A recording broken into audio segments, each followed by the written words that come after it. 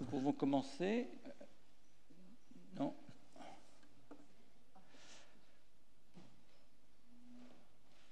merci, bonjour à tous. Je suis très heureux de vous retrouver, euh, retrouver nos participants euh, in euh, ubi et orbi, en quelque sorte, ceux qui sont dans la salle et ceux qui nous suivent à travers la chaîne YouTube de la Cour de cassation, pour cette série de conférences et l'avant-dernière série de conférences de l'année en droit de la concurrence.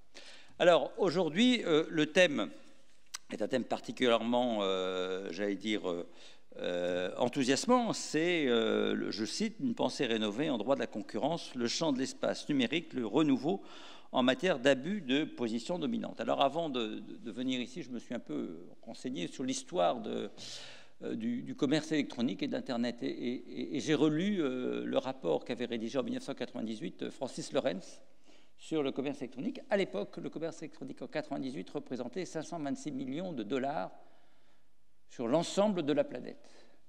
Et j'ai entendu ce matin sur France Inter euh, une émission qui était spécialement consacrée euh, à notre colloque de ce soir, euh, où j'ai appris que le chiffre d'affaires des GAFAM représentait l'équivalent des recettes fiscales de la France. Donc on voit que en 98 à, ce jour, donc en, plus de 24 ans, euh, l'explosion euh, de cette nouvelle force, forme de commerce électronique. Et en, 1998, justement, ma, femme travaillait dans une entreprise. Et, le commerce électronique pour toute la France représentait le chiffre d'affaires d'équivalent d'un hypermarché. Euh, donc depuis s'est développée cette nouvelle forme de, commerce qui, alors on a vu des acteurs traditionnels se lancer dans le commerce électronique, beaucoup d'enseignes euh, traditionnelles qui vendaient dans leur, commerce maintenant vendent directement, vendent également sur euh, des sites internet et des places de marché. Euh, on a vu l'apparition de ce qu'on a appelé des, des pure players, c'est-à-dire des, opérateurs qui, n'existaient pas avant l'Internet et qui ne se développent que sur l'Internet et que grâce à l'Internet, c'est notamment ces euh, notamment ces plateformes qui permettent de mettre en relation des, euh, des producteurs et des consommateurs. Alors, l'Internet a, bouleversé non seulement euh, nos,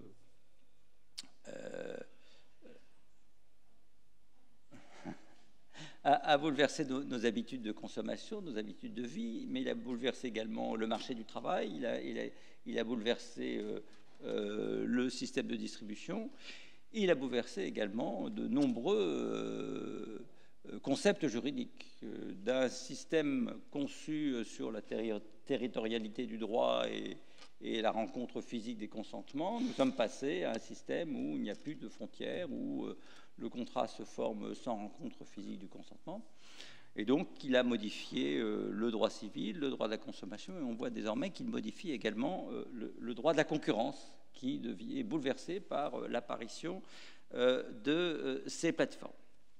C'est la raison pour laquelle il a été choisi aujourd'hui de consacrer une séance à cette question du renouveau en matière d'abus de position dominante, notamment à travers euh, l'espace numérique. Alors, cette, séance sera euh, modérée par Madame Doster, qui est vice-présidente du tribunal de commerce de Paris, et non pas, comme c'est marqué dans le programme, au tribunal de commerce de Paris, parce que dans les tribunaux de commerce, il n'y a qu'un seul vice-président, qui est nommé par le président du tribunal.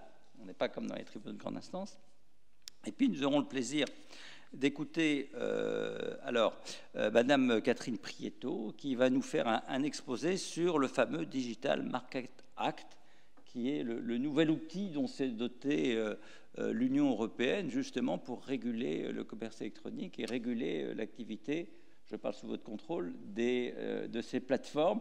C'est un peu, alors c'est une première mondiale. Je crois que nous sommes les seuls nous être dotés d'un tel instrument. Et je crois qu'on peut le comparer, c'est l'équivalent du RGPD, mais euh, pour, euh, euh, pour les plateformes. Alors bien évidemment, la Chambre commerciale n'a pas été conduite à, appliquer ce Digital Market Act.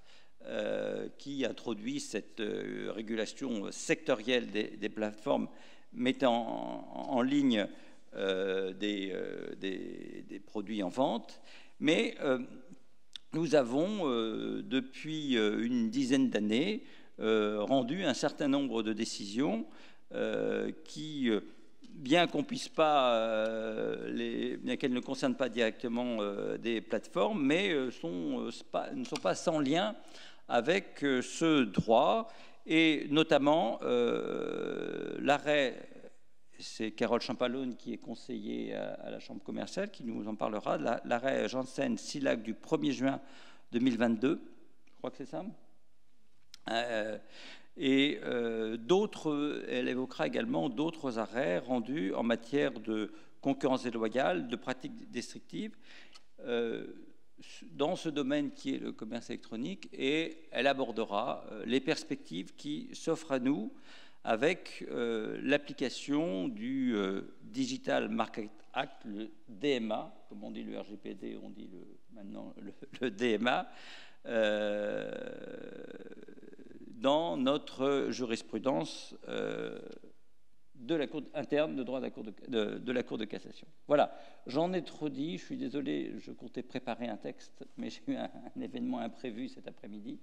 Donc je m'en tiendrai là. Madame le professeur, euh, Madame la Présidente, chère Carole, je vous laisse la parole.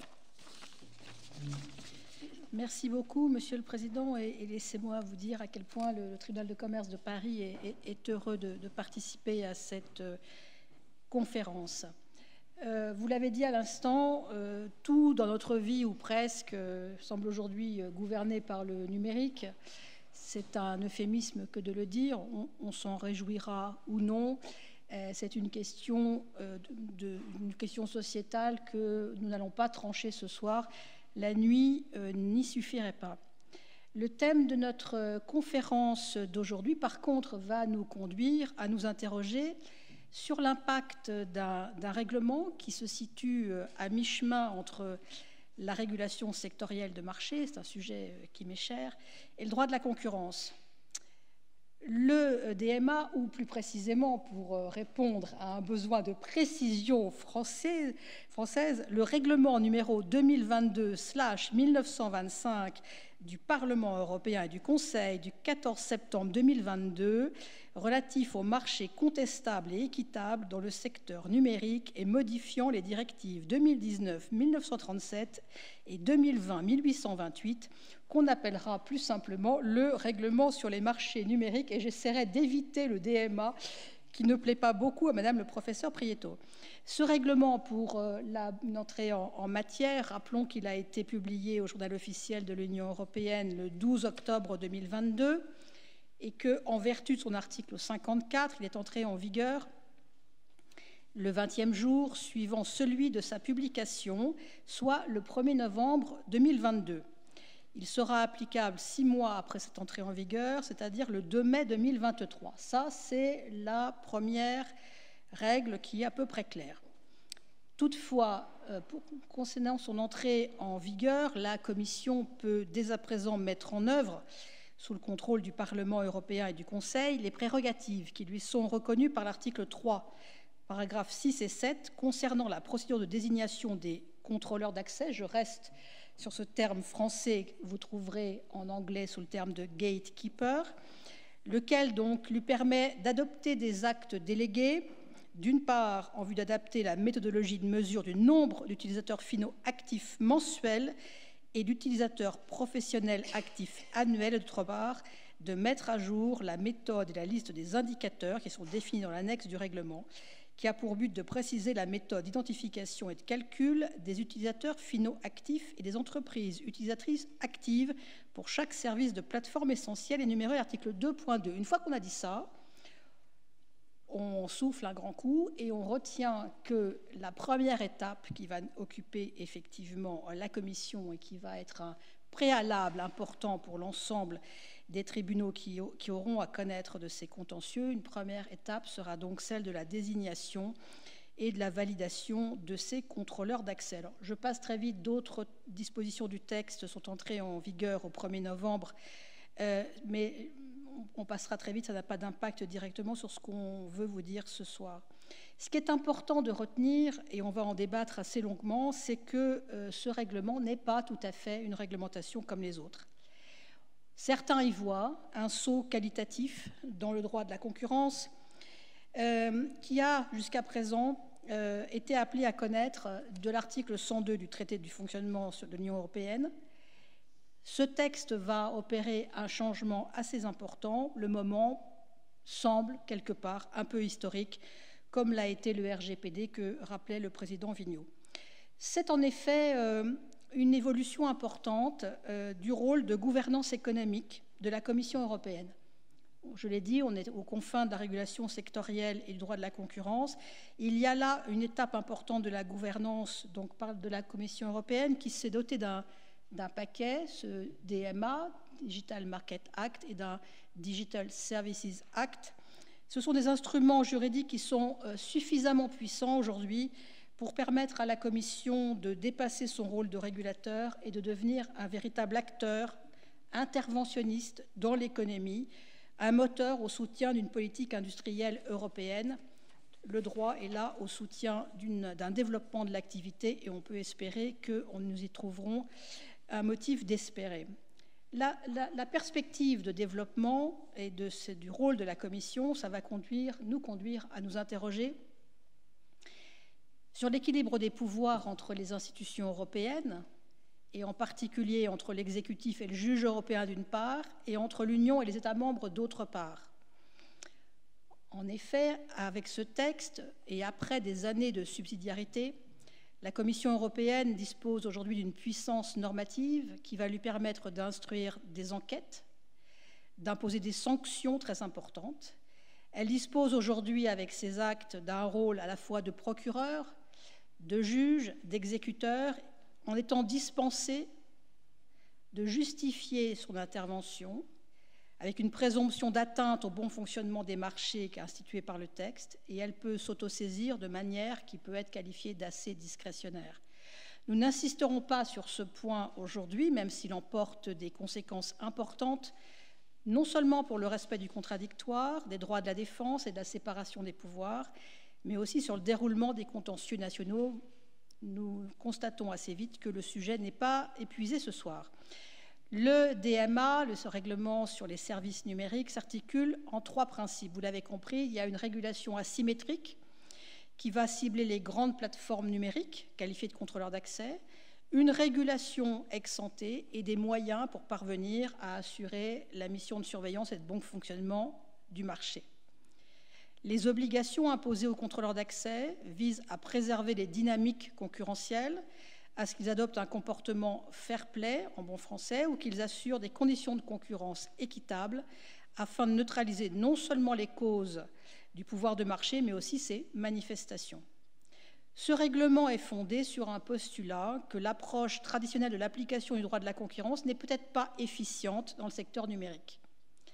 L'établissement de preuves, l'évaluation juridique et économique du pouvoir de marché et la détermination du comportement abusif serait inefficace pour remédier aux entorses à la concurrence, étant donné la forte probabilité, pour ne pas dire la très forte probabilité, et ou les niveaux élevés de préjudice associés à certaines formes de comportement de ces contrôleurs d'accès. Par ailleurs, les amendes qui sont infligées pour le comportement abusif de pouvoir de marché ne dissuaderaient pas suffisamment les mauvais comportements, car les sanctions pécuniaires représentent simplement un coût d'exploitation, potentiel variable d'ajustement pour les contrôleurs d'accès. Une réglementation qui interdit systématiquement des catégories de comportement commercial, quelles que soient les circonstances du marché, laisse une marge de manœuvre plus faible aux défendeurs et garantit des niveaux de dissuasion générale plus élevés. Un autre point d'évolution par rapport à l'approche actuelle du droit de la concurrence est l'abandon de l'idée qu'il faille un comportement fautif pour agir. Jusqu'ici, ce n'est pas la position dominante qui est sanctionnée, mais comme vous le savez, son abus. Or, au lieu de procéder au cas par cas, le règlement formule des règles générales. Les prescriptions du règlement s'appliquent indépendamment des effets réels, probables ou présumés du comportement d'un contrôleur donné. La position dominante se trouve assimilée à un problème qui justifie par lui-même l'intervention des pouvoirs publics pour le réguler. Le règlement remet-il ainsi en cause l'application de l'article 102 du traité? Le règlement l'épuise-t-elle? Se conjugue-t-il à celle-ci? Comment les juridictions nationales vont-elles appréhender son application? En effet, le, le, règlement remet donc en cause la structure de l'article 102 et partant du droit de la concurrence tel qu'on le connaît aujourd'hui. La notion de contrôleur d'accès part du présupposé, régulé ex ante, que la puissance de l'acteur constitue en elle-même une défaillance de marché sans qu'il y ait besoin de la prouver, instaurant de ce fait une présomption d'atteinte au fonctionnement du marché. Dans ces conditions, comment les règles actuelles, présidant à l'application de l'article 102 ou hors de son champ d'application, nous permettent-elles de relever le défi du DMA la pensée doit-elle réellement être renouvelée et pour quelle efficacité? Les comportements procéduraux au titre des affaires en cours vont-ils conduire les juridictions à devoir sursoir à statuer pour les besoins de la définition des contrôleurs d'accès Comment les contentieux en réparation prendront-ils en compte la spécificité de ce règlement? Voici quelques-unes des questions que nous aborderons ce soir au travers des interventions et je vais immédiatement présenter nos deux intervenantes. En premier lieu, Madame le professeur Catherine Prieto, qui est professeure à l'école de droit de la Sorbonne, Université Paris 1, et qui examinera les grandes affaires d'abus de position dominante et s'interrogera sur l'articulation entre l'article 102 et le règlement en cause. La question de l'information de la Commission européenne par les tribunaux de commerce sera également au cœur de sa réflexion tant il est nécessaire de prévenir tout risque de contradiction entre les juridictions nationales et la Commission européenne.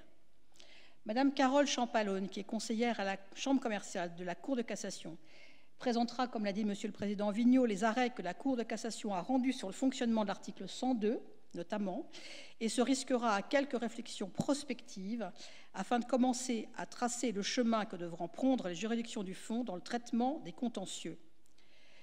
Nous ouvrirons en fin de séance un moment de dialogue pour répondre aux questions-réponses que vous souhaiteriez vous poser ici même dans la salle ou à distance, et ce après la conclusion qui sera dressée, tirée par Madame Poyot-Peruzzetto. Nous espérons que la conférence de ce soir, qui n'est qu'une première pierre dans nos échanges, vous éclairera sur les enjeux du règlement au regard de son articulation avec l'abus de position dominante Nul doute que nous aurons de nombreuses occasions de nous ré réinterroger dans un avenir pas si lointain. Et sans prendre plus de temps, Madame la professeure, je vous cède la parole. Merci, Monsieur le Président. Merci, Madame la Présidente. Je remercie également Madame la conseillère euh, Sylvaine Poilot-Peruzzetto pour cette invitation. C'est toujours un, honneur et un grand plaisir de revenir dans cette salle prestigieuse et devant un public choisi. Alors je dois remercier aussi euh, la Cour de cassation qui a la bonne idée de, mettre en, ligne, en streaming, cette, euh, cette, conférence. Cela me permet de faire bénéficier de cette conférence euh, mes étudiants parce qu'il s'avère qu'à ce même moment, je suis censée donner cours en amphithéâtre. Donc cela me, me permet de, de, conserver ce lien avec, avec les étudiants. C'est aussi un un renouveau dans la méthode et les moyens pédagogiques. Je salue donc mes étudiants à distance. Je salue aussi mes étudiants qui sont dans la salle de différents euh, Master 2 et Master 1. Alors, euh, nous voyons que cette euh, noble et vieille dame qu'est la Cour de cassation est branchée, qu'elle sait utiliser le meilleur du numérique, mais il y a également le moins bon, et euh, j'ai été euh, frappée de cet ouvrage qui, euh, qui est de Daniel Cohen, L'Homo numericus, la civilisation, entre guillemets, qui vient, c'est un ouvrage qui, qui, vient de paraître, et on, on, voit bien à travers cet ouvrage que nous sommes passés d'un grand espoir d'intelligence collective à un constat de de parfois d'inquiétude, parfois même de rupture, dans le contexte numérique paraît parfois déshumanisant, parce qu'il y a de la manipulation, parce qu'il y a de la polarisation. Et donc euh, Daniel Cohen cite de nombreux exemples, qu'il s'agisse de politique avec euh, Cambridge Analytica ou qu'il s'agisse de communautés, d'esprit de communauté qui tombent dans le complotisme ou qu'il s'agisse également de, de perte de vie privée à travers l'illusion de, de la gratuité. Donc nous sommes, selon lui, devant véritablement un défi de civilisation, d'où l'importance de soulever les guillemets. Alors la question qui, se pose est, de savoir quelle est la contribution du droit de la concurrence. Je reprends toujours euh, cette, cette citation de Nelly Cruz qui euh, n'a cessé de dire le droit de la concurrence ne peut pas tout faire, mais ce qu'il fait, il le fait généralement assez bien. Alors nous apprécierons à la fin de cette de cette conférence s'il l'a fait assez bien. En tous les cas, c'est vrai que le droit de la concurrence dispose d'instruments, notions, euh, qui, peuvent, juguler la puissance économique lorsque celle-ci euh, dérive. Alors soit parce que ce sont des opérateurs qui deviennent des puissances économiques en pratiquant une concurrence en dehors de tout mérite, soit ce sont des puissances économiques déjà constituées et qui, par une concurrence sans mérite, vont euh, rentrer dans une spirale de puissance toujours plus puissante. Alors nous avons divers euh, instruments, le pouvoir de marché, les marchés euh, bifaces, multifaces, nous avons cette notion de responsabilité particulière si importante en droit de la concurrence, nous avons la notion objective d'abus, nous avons euh, cette concurrence par les mérites que je viens de nommer, nous avons aussi l'appréciation du bien-être. Alors, quelle contribution déjà réalisée? Vous le voyez, la concurrence non faussée, le droit de la concurrence non faussée n'est pas resté inerte.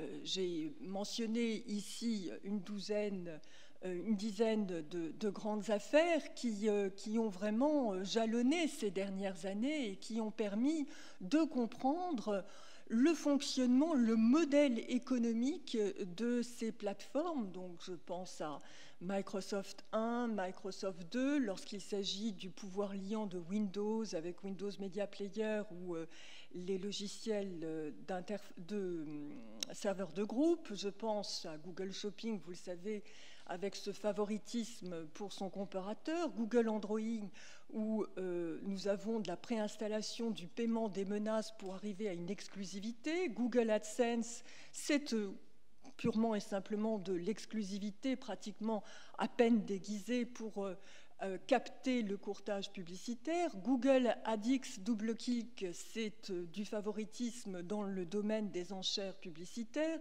Google droit voisin, c'est de l'extorsion de Google droit voisin de la presse, de l'extorsion de licences gratuites. Google Ads, c'est de la discrimination qui, euh, qui est faite euh, sous prétexte de régulation des sites malveillants. Apple, euh, c'est une manière de créer une dépendance économique dans son réseau de distribution. Meta, Facebook, c'est de la collecte de données sans consentement. Enfin, Booking.com, c'est une application de la clause de la nation la plus favorisée. Non, le droit de la concurrence non faussée n'est pas resté inerte et a permis de comprendre le fonctionnement de ces plateformes, leur écosystème. Néanmoins, Néanmoins, euh, cela n'a pas paru suffisant et on se pose la question, comme vous l'avez dit, Madame la Présidente, d'un changement de paradigme avec ce nouveau règlement, ce règlement relatif au marché numérique, ce règlement dans son intitulé a deux éléments qui sont importants, qui sont relatifs à la contestabilité et à l'équité dans ce secteur numérique. Donc je souhaite effectivement, comme vous le disiez, Madame la Présidente, qu'on cesse de parler du DMA pour parler du règlement sur les marchés numériques, en abrégé, bien que ces termes de contestabilité et équité sont euh, importants. Donc il s'agit de savoir euh, euh, comment ce texte, ce nouveau texte, a été directement inspiré euh, des affaires que j'ai précitées, comment et pourquoi il y a eu un élargissement, est-ce qu'il y a une rupture, quelle est l'ampleur de cette rupture? En tous les cas, il y a, euh, il y a je ne sais pas si on peut dire renouvellement de la pensée, je retiendrai plutôt l'expression schéma de pensée. Euh, il y a des schémas de pensée qui sont revisités, certains qui sont abandonnés. Ils sont tous d'ampleur différente, mais en tout cas significative. Et je vous propose d'apprécier comment il y a eu, euh, au cours de ces dernières années, une montée en puissance pour revisiter ces schémas de pensée, tout en sachant que ce qui doit nous guider, c'est toujours ce principe d'efficacité des règles de concurrence, tel que ce principe a été posé par la Cour de justice dans un grand arrêt Continental Cannes. On fait de l'histoire, de la préhistoire même. Alors, pensée renouvelée. Je vous propose trois axes. Le premier, c'est qu'il y a euh, une pensée renouvelée déjà dans l'application de l'article 102, et cela va nous intéresser pour l'avenir, donc il est important de faire ce bilan. Dans une deuxième partie, je vous propose de mesurer le renouvellement radical, euh, plus radical en tout cas, euh, avec plus radical que, dans le domaine de la concurrence non foncée avec ce règlement 2022. Et enfin, en troisième partie, je pense qu'il est, il est utile de s'interroger, comme vous le souhaitiez, Madame la Présidente, sur l'articulation de l'article 102 avec euh, le règlement sur les marchés euh, numériques. La question qui se pose, c'est de savoir si euh, le règlement sur les marchés numériques épuise l'application de l'article 102 dans le secteur numérique et nous verrons qu'il n'en est rien. Alors, schéma de pensée renouvelé dans l'application de l'article 102, je pense qu'il faut d'abord rappeler qu'il y a une rupture avec le dogme qui est celui de l'entreprise dominante bénévolente ou en tout cas favorable à l'innovation. Euh, je pense ensuite qu'il faut euh, bien insister sur euh, la sortie de la typologie du texte orientation sur les priorités dans le domaine des abus d'éviction. Ce texte date de 2009. Nous allons voir que il est resté important, mais qu'il n'enferme pas la Commission et ne doit surtout pas nous enfermer pour ce qui concerne les juridictions nationales. Et enfin, je voudrais mettre en avant ce concept de loyauté qui, qui apparaît, même s'il a été très critiqué, qui apparaît de manière forte dans l'arrêt Google Shopping. Alors la rupture avec le dogme de l'entreprise dominante favorable à l'innovation, vous savez que nous avons été matraqués très longtemps par euh, ces idées reçues autour de la pensée de Schumpeter, certainement peut-être un peu caricaturées par l'école de Chicago notamment qui l'a surexploité. Alors on pense toujours à cette destruction créatrice. Euh, en réalité, euh, Bon, on peut gloser longtemps sur cette destruction créatrice. la destruction vient quand? Au bout de combien d'années? De décennies En tout cas, ce qui est important derrière cette destruction créatrice, c'est de voir l'autre argument qui est celui que l'entreprise puissante qui est pratiquement dans une situation de monopole, a une capacité d'investissement dans la recherche et le développement, et qu'elle sera assurée d'un retour sur investissement euh, du fait de son monopole. Ce qui fait que euh, nous avons le, sentiment, le raisonnement suivant qui, euh, qui, produit cette idée les entreprises dominantes servent, ne peuvent que servir l'innovation. En contrepoint, nous avons les travaux de Harrow, selon lequel le monopole est en situation de rente, et donc le monopole le plus souvent est dans l'inertie, les travaux ultérieurs de Scherer et Aguillon semblent indiquer que l'important c'est de placer le curseur, euh, de placer le curseur dans un juste milieu. Pas de concurrence, c'est très mauvais pour l'innovation. Trop de concurrence, ça peut être également très mauvais pour l'innovation parce qu'il n'y aura pas nécessairement ce retour sur investissement. Ce sont des généralités et chacun dit qu'il faut procéder à une appréciation au cas par cas. Et puis nous avons euh, l'interprétation, les travaux plus récents de Becker, euh, selon lesquels le monopole, quel qu'il soit, produit de la capture, produit du gel de l'innovation, et euh, il se plaît à faire de nombreux constats aux États-Unis.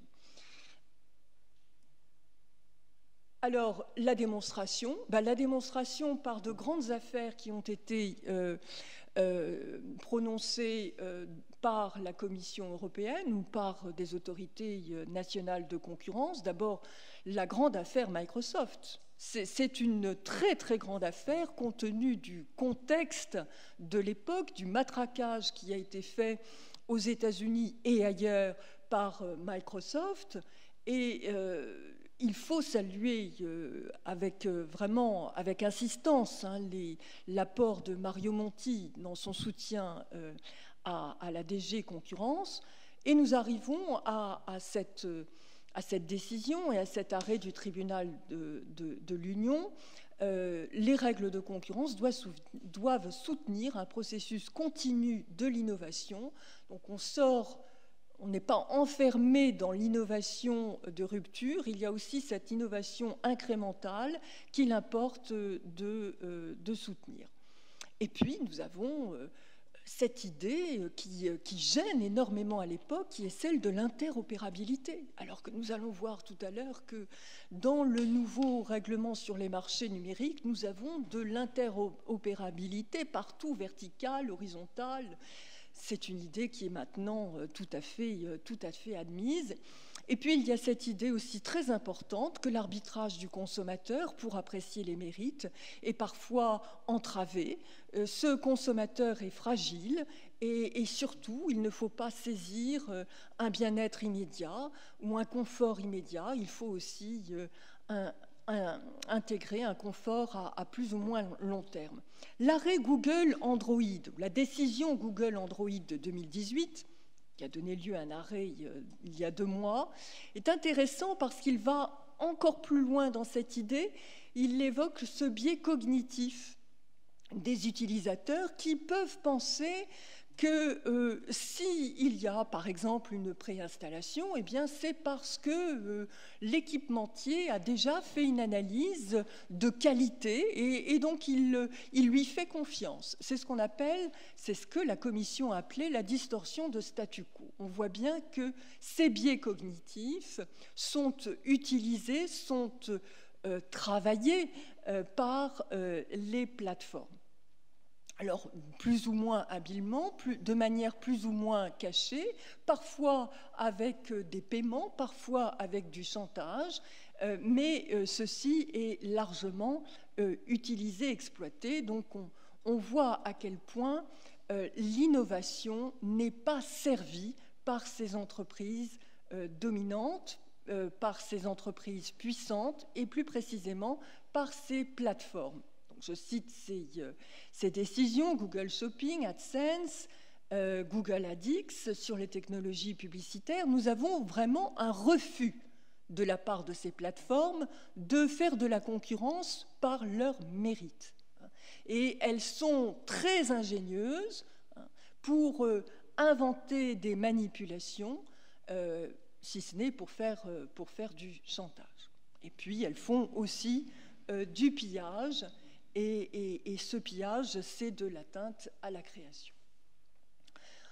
Alors, maintenant que cette idée reçue est, largement dépassée, contrecarrée, euh, nous avons euh, l'idée que ces plateformes nous ont incité à sortir de la typologie des abus telle qu'elle avait été posée par ce grand texte de soft law qu'on appelle orientation, orientation pour la commission des priorités en matière d'abus euh, d'éviction.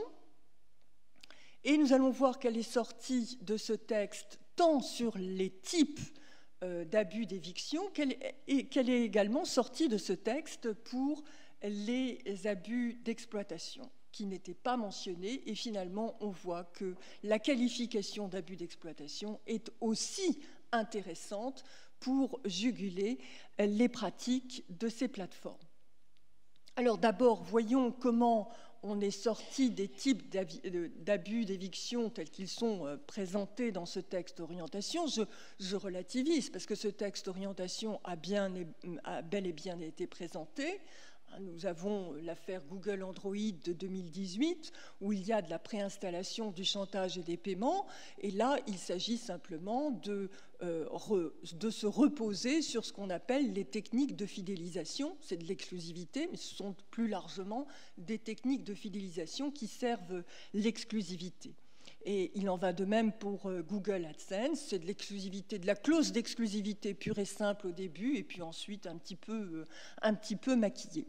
Mais nous voyons surtout qu'une digue a sauté avec, l'affaire euh, Google Shopping, puisque nous sommes sur un effet de levier tout à fait nouveau, qui n'a pas du tout été entreaperçu, exploité dans ce texte orientation. Il s'agit d'un abus d'algorithme et, ceci pour euh, accaparer des marchés qui sont adjacents. Et euh, on voit bien que euh, sur ces marchés adjacents, Google Search Shopping n'est pas du tout opérationnel, ne peut pas faire valoir ses mérites. Alors la digue cède, mais je tiens quand même à soulever ici que nous avons des grands débats sur cette question de l'autopréférence. Et, je vois bien qu'en utilisant ce terme autopréférence, il, y a, euh, il y a des arrière-pensées. Je sais et j'imagine qu'il y aura de plus en plus des gloses sur euh, la légitimité de l'autopréférence. On peut philosopher également sur euh, la légitimité de l'autopréférence. Et ça me rappelle, je l'indique ici, ça me rappelle toutes les discussions sur les facilités essentielles facilité essentielle, c'était pour les dévaloriser. En fait, il ne s'agissait pas de facilité, et si on traduisait correctement, c'était d'accès à des, il s'agissait d'accès à des installations essentielles. Mais l'utilisation du terme facilité était pour casser la légitimité de cette intervention des règles de concurrence non faussée. Eh bien, parler aujourd'hui d'autopréférence, c'est un peu également euh, saper hein, la nécessité euh, de l'intervention des règles de concurrence. En fait, je, pense qu'il est important de ne plus employer ce terme autopréférence, mais de dire qu'il s'agit purement et simplement de tricherie. Il s'agit de tricherie. Et j'ai relevé dans l'arrêt du tribunal un attendu qui me paraît tout à fait intéressant. Il s'agit de, de relever que ce service de moteur de recherche générale a une vocation universelle. Sa crédibilité est celle de l'universalité des réponses qu'il doit donner, mais au-delà de sa crédibilité, son modèle économique, son est de présenter le plus de pages possible pour qu'il y ait le plus grand nombre de clics, pour qu'il y ait le plus grand nombre de clics. Et, donc on voit bien ici que le fait de rapporter à plusieurs pages en arrière c'est euh, les autres comparateurs de prix, c'est en fait les laisser dans l'oubli, puisqu'on sait qu'au-delà de la première page, le consommateur ne va pas cliquer, donc c'est les laisser dans l'oubli. Donc il n'y a plus de comparaison possible, euh, il n'y a plus d'arbitrage, je vais dire il n'y a plus d'arbitrage possible. Et, donc on, voit bien que ici, euh, l'opérateur va à l'encontre de son intérêt économique. C'est ce qui a été soulevé par le tribunal, et je trouve cela très intéressant. Et puis il faut bien reconnaître que nous sommes devant un mécanisme de tricherie pur et simple. Alors, je dirais de grâce, n'utilisons pas le terme autopréférence. Et puis, il en va de même dans l'affaire euh, de l'autorité de la concurrence, l'affaire Google at X, où il s'agit de technologies sur les marchés publicitaires avec le système d'enchères. On voit bien que Google s'est servi du euh, serveur publicitaire pour favoriser la, la, plateforme SSP et que Google a utilisé la plateforme SSP pour favoriser euh, son serveur publicitaire. Donc nous sommes purement et simplement dans de la tricherie par rapport ici aux annonceurs ou par rapport euh, pour ce qui concerne euh, Google Shopping, pour ce qui concerne les consommateurs. Et puis, autre chose, c'est le comportement de ces plateformes nous a amené à revenir aux abus d'exploitation. Comme je le disais euh, tout à l'heure, le texte sur les orientations euh, se polarisait sur, euh, sur les, abus d'éviction parce que la nouvelle économie industrielle a beaucoup travaillé sur, sur bah, cette typologie des abus, donc à, à créer des modèles de raisonnement. Et l'abus d'exploitation a toujours eu mauvaise presse, disons-le, euh, dans euh, l'économie industrielle et surtout depuis l'école de Chicago parce qu'on est polarisé sur les prix élevés. Et donc on dit toujours, ah bien, s'il y a des prix élevés, c'est peut-être une opportunité euh, pour de nouveaux opérateurs qui pourront ainsi pénétrer sur le marché. On oublie toujours, je ne cesse de le dire, l'existence de barrières à l'entrée qui empêcheront ces nouveaux opérateurs de pénétrer le marché. Mais ce qui est intéressant ici, c'est que nous sortons de l'abus d'exploitation par les prix élevés pour entrer dans un autre type d'abus d'exploitation. Tout d'abord, l'affaire euh, Google Ads, où il s'agit euh, de la régulation des sites malveillants. Évidemment, on ne va pas euh, reprocher à Google de s'intéresser à une forme de régulation des sites malveillants, c'est de de la régulation euh, spontanée euh, pour ordonner euh, son écosystème. le problème est que cette régulation est faite en dépit du bon sens. Les règles sont mal définies, incohérentes, aléatoires. elles sont inéquitables. Cela crée une très grande perturbation pour les opérateurs économiques. Et donc, nous sommes ici dans une forme d'abus d'exploitation par méconnaissance de l'intérêt de, euh, euh, de ses clients et puis par indifférence aussi. Et nous avons également un autre exemple d'abus d'exploitation tout à fait euh, inédit, c'est l'extorsion dans la chaîne de valeur, avec cette affaire de l'autorité de la concurrence en, matière de droit voisin de la presse. Alors évidemment, il n'y a pas eu une qualification d'abus, mais le raisonnement est derrière. Alors nous savons qu'il y a eu euh, des mesures conservatoires, une sanction pour inexécution des mesures conservatoires, et puis finalement on arrive à une décision d'acceptation d'engagement. Il n'en demeure pas moins que euh, de manière sous-jacente, c'est l'abus d'exploitation qui est, euh, qui est ici appréhendé. Je ne vais pas dire sanctionné, mais appréhendé. Et puis nous avons l'affaire Meta Facebook qui a été qui a été euh, prise par euh, l'autorité allemande de la concurrence, le Bundeskartellamt. C'est une décision très intéressante euh, qui a été décriée, n'en parlons pas, parce que nous sommes dans, l'utilisation du RGPD pour retenir la qualification d'abus. D'ailleurs, le, président du Bundeskartellamt ne s'est pas trompé, il a choisi d'appliquer le droit de la concurrence nationale et non pas l'article 102. Et euh, cela, lui a été reproché notamment par Wouterwils, qui a dit Mais enfin, que diable, il y a bien de l'affectation du commerce entre les États membres et vous êtes tenu d'appliquer l'article 102. Alors, il se trouve que, et ce n'est pas le, moindre des. Euh, des, clins d'œil, il se trouve que finalement, il y a eu une question préjudicielle qui a été posée par le juge allemand, et ça revient de cette manière à la Cour de justice. C'est assez amusant, qui euh, doit se prononcer sur le point de savoir si une autorité de concurrence, une autorité nationale de concurrence, peut s'appuyer sur euh, une analyse du RGPD pour retenir une qualification d'abus. Et nous avons pour l'instant une réponse de l'avocat général qui est très intéressante et qui indique, sous certaines réserves, j'allais dire retenues, euh, l'autorité nationale de concurrence peut s'appuyer sur un manquement à une, à, à une régulation, quelle qu'elle soit, et je dis bien quelle qu'elle soit. Parce que le raisonnement de, l'avocat général euh, est, général, c'est le cas de le dire, et il ne s'appuie pas simplement sur le RGPD. Donc il, répond de manière euh, générale sur finalement toutes les, toutes les réglementations sectorielles qui sont soumises à des autorités euh, administratives indépendantes, par exemple, et, qui, et, donc il indique, ben voilà, il y a une question de, déontologie, il y a aussi une question de, loyauté dans l'application du droit de l'Union.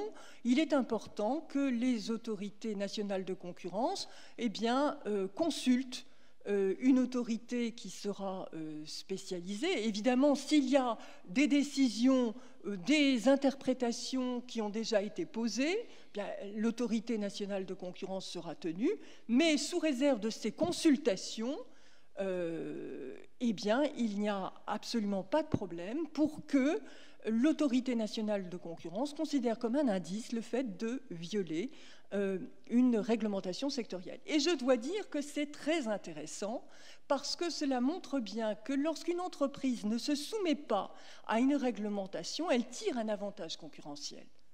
Et cet avantage concurrentiel, finalement, révèle une concurrence anormale. Et nous avons récemment, euh, euh, dans, un arrêt de la Cour de justice, l'arrêt Servizio, une définition de ce qui est la concurrence euh, anormale. Ben, c'est très simple. Hein. La concurrence anormale, c'est la concurrence en dehors de tout mérite. Donc c'est intéressant de savoir que concurrence par les mérites, concurrence, quand on utilise concurrence par les mérites, puis ensuite concurrence anormale, ce n'est pas des, des, superpositions de concepts, non, la Cour de justice dit c'est la même chose. Donc le fait de ne pas se soumettre à une réglementation, eh bien, crée un avantage, anti, un avantage qui n'est pas concurrentiel, qui est en dehors de tous les mérites, parce que, eh bien, il y a euh, soit une aubaine, soit un coût qui est, euh, qui est euh, évité. Et, cela me rappelle l'excellent arrêt de la Cour de cassation dans l'affaire Cristal Made in France. Hein, voilà, je trouve que c'est un, arrêt qui, un arrêt de concurrence déloyale qui nous sert. Et ce n'est pas le moindre des paradoxes. Et je vais en venir à un point où finalement cette concurrence non faussée et cette concurrence déloyale peuvent se rapprocher. En tout cas, voilà. Je pense que là, il y a un creuset, un creuset à exploiter. Et je sais qu'il le sera.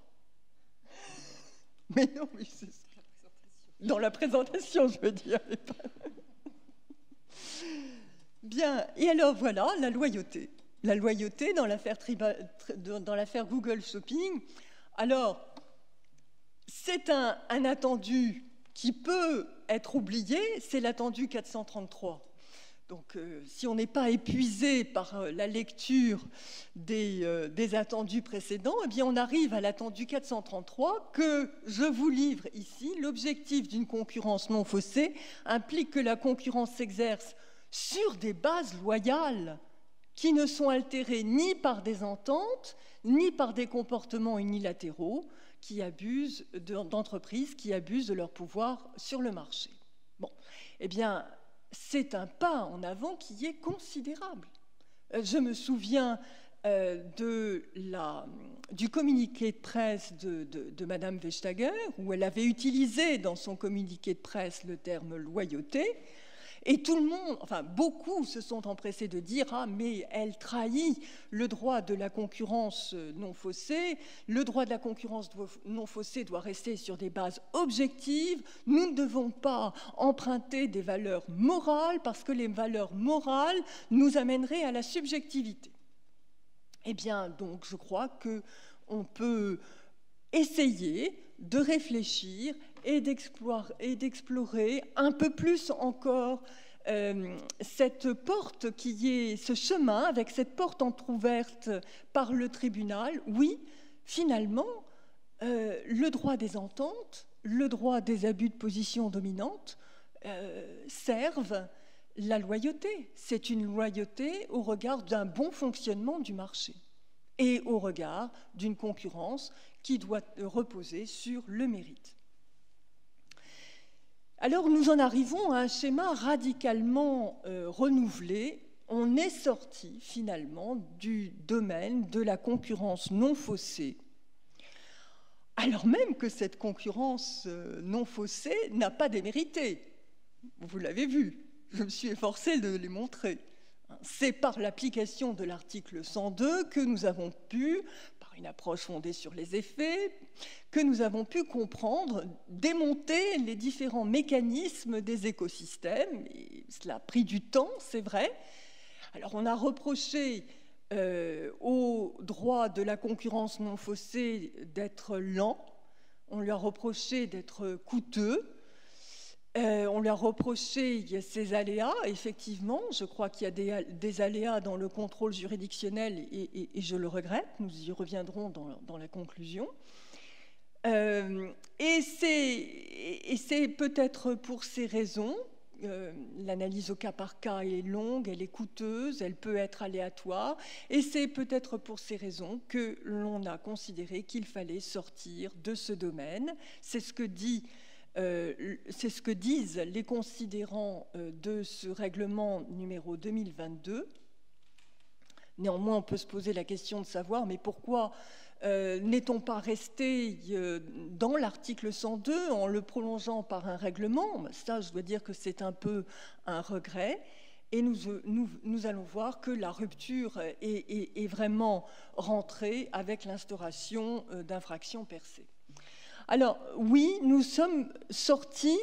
J'utilise d'abord un point d'interrogation parce que si on lit le considérant 7, euh, l'objectif du présent règlement est de euh, contribuer au fonctionnement du marché intérieur en établissant des règles visant à garantir la contestabilité et l'équité des marchés. La contestabilité, ben, c'est tout, le, problème des barrières à l'entrée. Et donc nous sommes bien dans la concurrence, euh, dans le domaine de la concurrence non faussée. Et puis l'équité des marchés. Euh, euh, nous avons Margaret Vestager qui n'a cessé d'utiliser cette expression, the same level playing field, c'est un, jeu loyal. Hein.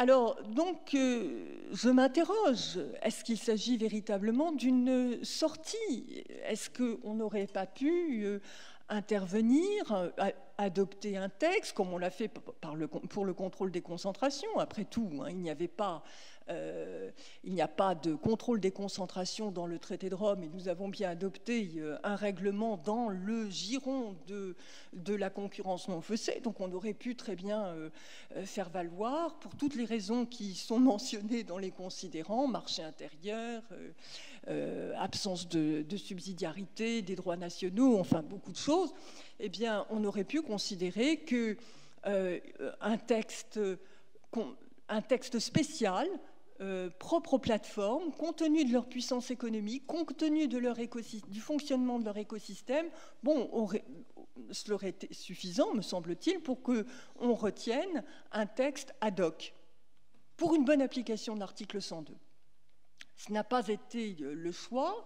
Et euh, nous avons une sortie qui est bien affirmée. C'est dans le considérant 11, le présent règlement poursuit un objectif complémentaire, complémentaire mais différent de la protection d'une concurrence non faussée sur tout marché. Nous sortons de la concurrence non faussée euh, sur tout marché, euh, c'est-à-dire qu'on agit indépendamment des effets euh, réels, éventuels ou présumés sur la concurrence sur un marché donné. Donc nous sommes dans une rupture avec l'approche fondée sur les effets et nous sommes aussi dans une autre rupture, c'est que nous nous avons l'instauration d'infractions percées qui euh, crée une réglementation ex ante.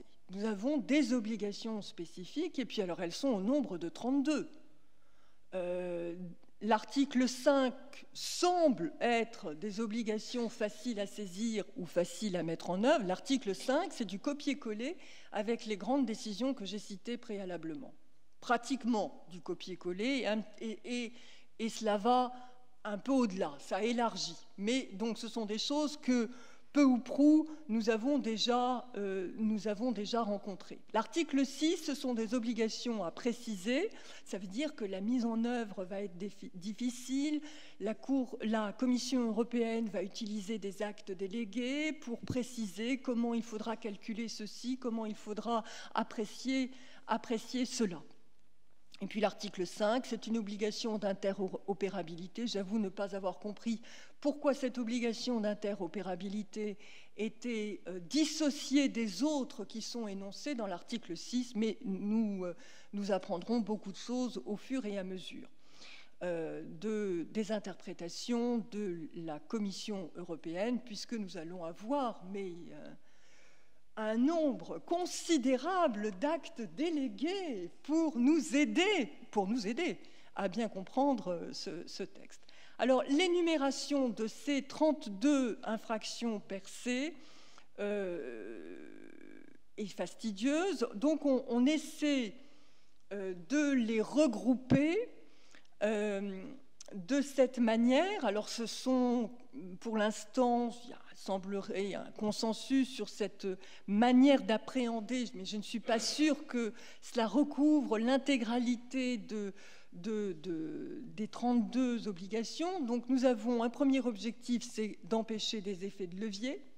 Et parmi euh, les effets de levier, nous avons non seulement de la vente liée, mais nous avons aussi des discriminations et nous avons de l'autopréférence. Deuxième objectif, faciliter l'arbitrage du euh, consommateur d'abord en permettant aux consommateurs de faire du switching, c'est-à-dire de changer euh, de plateforme, de réseau, et euh, aussi lui permettre euh, un multi-hébergement de telle manière à ce qu'il puisse, là encore, arbitrer. Et puis, pour qu'il y ait cette fluidité, eh bien, il faut qu'il y ait une portabilité des données. Il, ne, il faut qu'il y ait ici interdiction des clauses de la nation la plus favorisée, Most Favored Nation, l'acronyme, et cela, nous l'avons déjà vu dans le règlement sur euh, les restrictions verticales. Les plateformes se voient opposer euh, cette interdiction. On sort du champ du règlement d'exemption.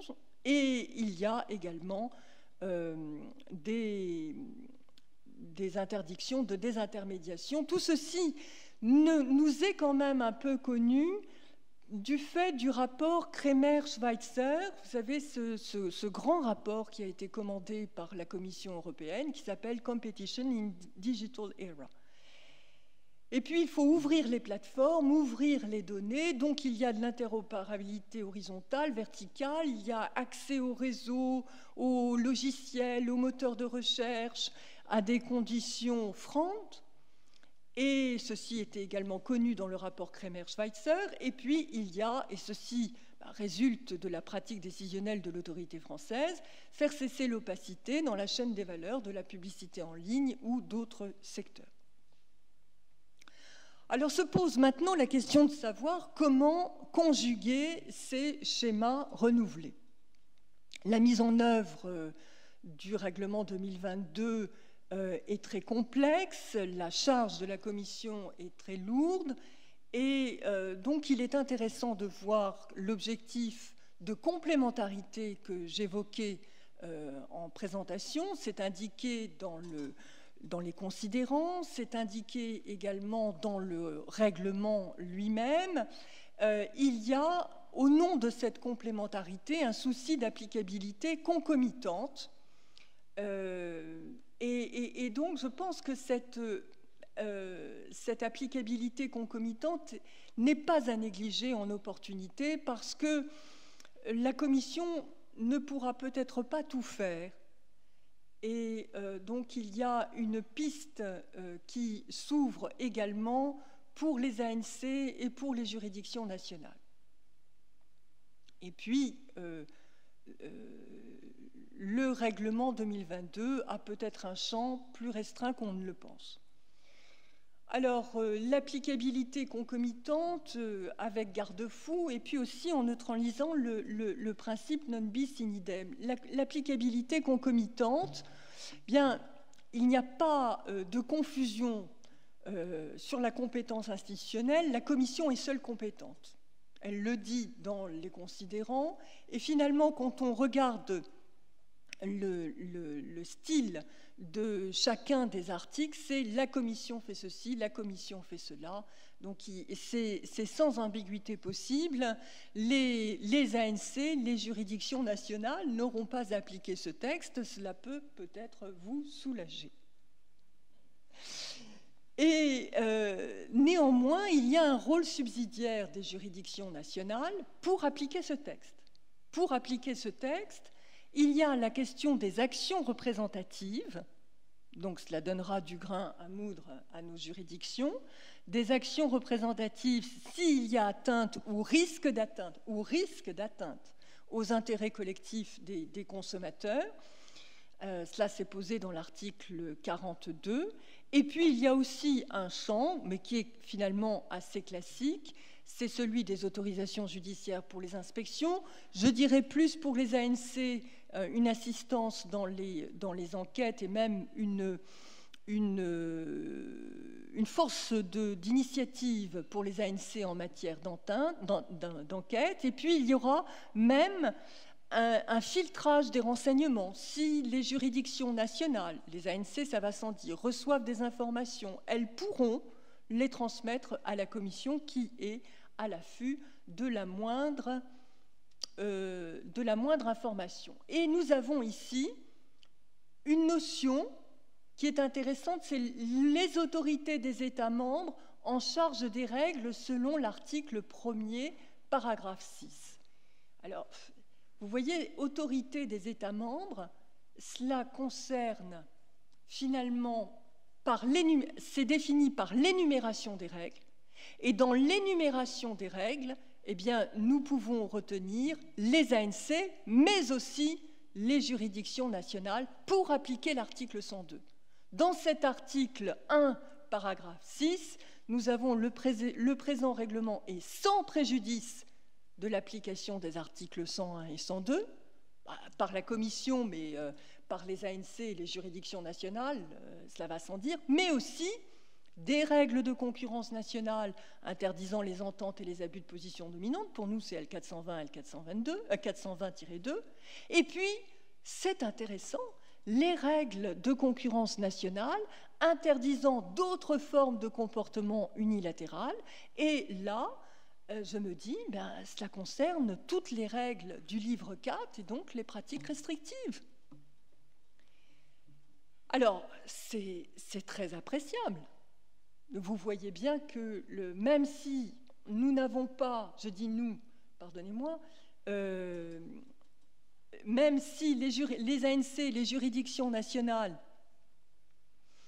euh, je profite de dire que, que, j'interviens euh, ici, je disais nous, pardonnez-moi, j'interviens ici en tant qu'universitaire et non pas en tant que membre du collège de l'autorité que je ne lit d'aucune manière, donc c'est vraiment mes opinions personnelles, j'aurais pas, pas dû dire nous.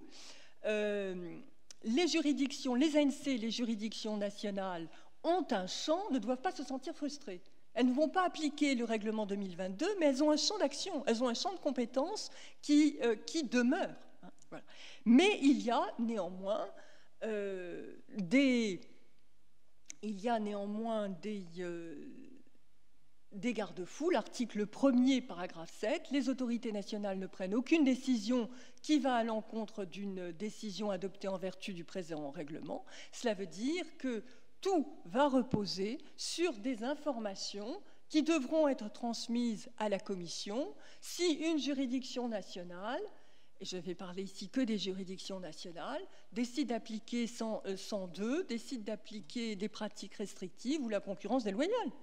Hein mais euh, la Commission, effectivement, conservera peut-être la possibilité de dire c'est opportun ou ce n'est pas opportun, mais en tout cas, s'il y a une décision, là c'est clair et net, on ne pourra pas contrarier cette décision. Euh, et euh, s'il n'y a pas encore de décision, de manière très élégante, il est indiqué que la juridiction nationale appréciera elle-même l'opportunité de suspendre euh, sa procédure. Voilà. Et puis, euh, donc ceci, euh, c'est ce que j'ai indiqué là. Et puis, nous avons, puisqu'il y a applicabilité concomitante de l'article 102, bah, il y a la question, l'obstacle du principe non bis in idem. Et là, j'appuie euh, encore une fois sur euh, le considérant 11, euh, qui est intéressant. C'est un objectif, le présent règlement poursuit un objectif complémentaire, mais différent de la, protection d'une concurrence non faussée, etc., etc. Et si l'on reprend le dernier arrêt de la Cour de justice dans l'affaire B-Post, un arrêt de 2022 qui n'est pas euh, révolutionnaire, hein, eh bien, euh, le cumul d'une règle sectorielle et d'une règle de concurrence est tout à fait envisageable dès lors qu'il y a des objectifs complémentaires. c'est balisé par le considérant 11. Et de manière générale, c'est vrai que la Cour de justice dit qu'il y a des aspects différents de régulation qui sont poursuivis entre la régulation sectorielle et euh, la concurrence non faussée. Voilà. Donc, euh, pour conclure, je dirais qu'il y a un champ restreint euh, du règlement 2022 euh, parce que euh, la qualification du contrôleur d'accès répond à des, à des, seuils, vous voyez 7,5 milliards et 75 milliards, milliards de valeurs marchandes, des informations plus ou moins directes de la DG Comp semblent indiquer que ça devrait concerner peut-être seulement sept plateformes c'est peu. Euh, donc ça veut bien dire qu'il y a un champ ouvert pour les juridictions nationales, mais peut-être que ça sera plus, en fait, on ne sait pas. Hein. Et puis il y a les services de plateforme essentiels qui doivent être, euh, qui sont bien énumérés. Quand on regarde euh, le règlement, les services de plateforme essentiels sont très nombreux. Néanmoins, la DG Comp semble, la Direction générale de la concurrence semble indiquer que peut-être tout n'a pas été couvert dans la définition des euh, services de plateforme essentiels. Et puis, euh, il faut qu'il y ait une position solide et durable, même s'il n'y a pas de seuil. C'est vrai que la Commission se, se, garde quand même une marge d'action très importante parce qu'il y a euh, notification par les entreprises qui vont, pouvoir, qui vont devoir se déclarer si elles ont franchi ces seuils. Et Ensuite, la Commission doit se prononcer et rendre une décision par laquelle elle vise, effectivement, elle retient la qualification de plateforme et elle vise les, euh, services essentiels qui sont concernés par telle ou telle obligation, mais elle se réserve aussi la possibilité, dans une appréciation au cas par cas, de retenir cette qualification de, plateforme. Et puis, euh, nous avons aussi euh, le, point suivant, c'est que, euh, oui, ça je l'ai indiqué, donc euh, le, champ de 2022 est, assez restreint. Et puis pour terminer, cette question de l'application dans, dans, le temps, vous l'avez dit, Madame la Présidente, le, texte est entré en vigueur le 1er novembre mais il est entré en vigueur pour la Commission qui est immédiatement en action maintenant. Hein. Elle réfléchit sur euh, les précisions qui doivent être apportées par acte délégué, elle réfléchit sur des actes d'exécution, elle réfléchit sur des lignes directrices, sur des demandes de normalisation pour faciliter l'application euh, du texte, elle réfléchit sur des actes délégués, elle réfléchit aussi sur la constitution d'une expertise avec la constitution d'un groupe de haut niveau et d'un comité, consultatif en, en, matière de marché numérique. Donc il lui faut plusieurs mois pour euh, entrer, euh, en, puissance d'action. Ah. Et euh, donc, nous avons un petit problème, me semble-t-il. Il y a peut-être j'ai bien réfléchi, je ne vois pas d'autre explication. Il y a peut-être une erreur de plume quand on dit que les actions représentatives vont être applicables à partir du 25 juin 2023, puisque euh, les, plateformes vont être obligées de se déclarer, de notifier à la Commission à partir de mai. Euh, la Commission a un délai de deux mois pour statuer.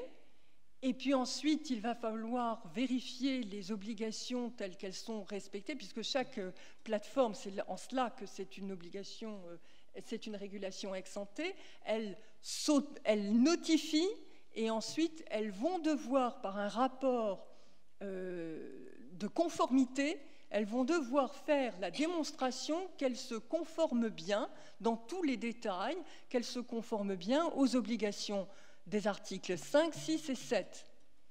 Euh, donc vous voyez que, et tout ceci peut faire l'objet euh, de négociations avec la Commission, de mesures conservatoires, d'engagement, et les décisions de non-respect sont un peu la dernière euh, ligne.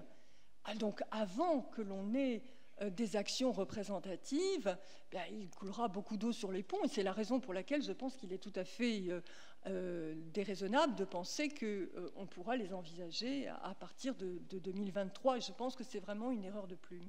Mais bon, sous réserve, il y a peut-être des éléments qui m'ont échappé dans la lecture de ce texte qui est très très très difficile.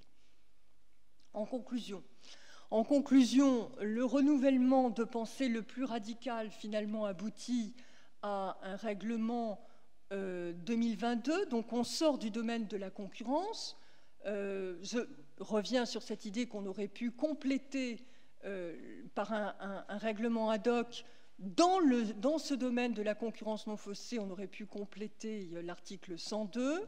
Mais je reconnais, là, je, dois dire qu'il faut faire preuve de réalisme, je reconnais que nous sommes devant la nécessité d'une instauration euh, sectorielle très pointue sur le plan euh, technologique, euh, donc des règlements sectoriels comme nous en connaissons dans les réseaux. Et j'indique quand même, en m'appuyant sur les travaux de Strel et Larousse, que ce modèle de, co-managed competition où le dialogue entre le régulateur et le régulé est très étroit, peut donner lieu à certaines captures.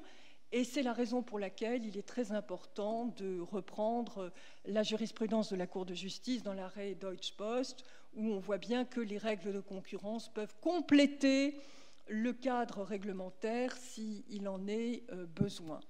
Le seul problème, c'est que dans l'arrêt Deutsche Post, il s'agissait de la commission qui portait un regard sur l'autorité nationale allemande, tandis que là, ce sera la commission qui va porter un regard sur elle-même. Donc je reconnais que ce n'est pas simple, mais euh, en tout cas, les juridictions nationales, et ça c'est important, pourront saisir la Cour de justice. Et c'est la Cour de justice qui pourra arbitrer finalement si jamais une juridiction nationale considérait que le règlement 2022 n'a pas été correctement appliqué et qu'il y aurait nécessité pour elle d'appliquer l'article 102. Et euh, ensuite, euh, je finirai par des critiques sur l'application du droit de la concurrence non faussée. Bah, ces critiques, je reconnais euh, sont justifiées. Et je crois qu'il y a vraiment peut-être un, problème d'excès dans l'approche fondée sur les effets. Euh, je me souviens, il y a plus de 15 ans, être dans cette même salle et avoir défendu l'approche fondée sur les effets. Mais c'était parce que euh, cette modernisation de la politique européenne de concurrence gagnait en crédibilité pour s'imposer face aux autorités américaines. Et, je dois dire que cette approche fondée sur les effets, à notre manière, nous l'avons quand même bien employée pour prendre un très grand nombre d'affaires emblématiques dont les États-Unis n'ont pas l'équivalent. Il n'y a pas, il n'y a pas. Donc notre approche fondée sur les effets a été opérationnelle hein, et encore plus qu'on pouvait l'imaginer il y a 15 ans. Donc je, reconnais que j'avais soutenu euh, l'approche fondée sur les effets pour une question de crédibilité euh, mais maintenant, je me pose des questions sur le point de savoir si nous ne sommes pas tombés dans un excès. Et, je pense même à, une question d'administrabilité, comme on dit, c'est un néologisme qui nous vient des États-Unis, mais euh, aussi s'il n'y a pas un excès de contrôle juridictionnel. Alors, on pourrait lancer un autre débat et je vais m'arrêter ici, mais euh, je pense qu'il est peut-être intéressant de, de réfléchir à un standard de preuve moins élevé, à un contrôle juridictionnel moins tatillon, en tout cas moins tatillon que celui du tribunal de l'Union euh, dans ces euh, derniers arrêts. Voilà. Donc le renouvellement de la pensée, eh bien oui, nous avons progressé, mais il reste encore beaucoup à faire. Je vous remercie.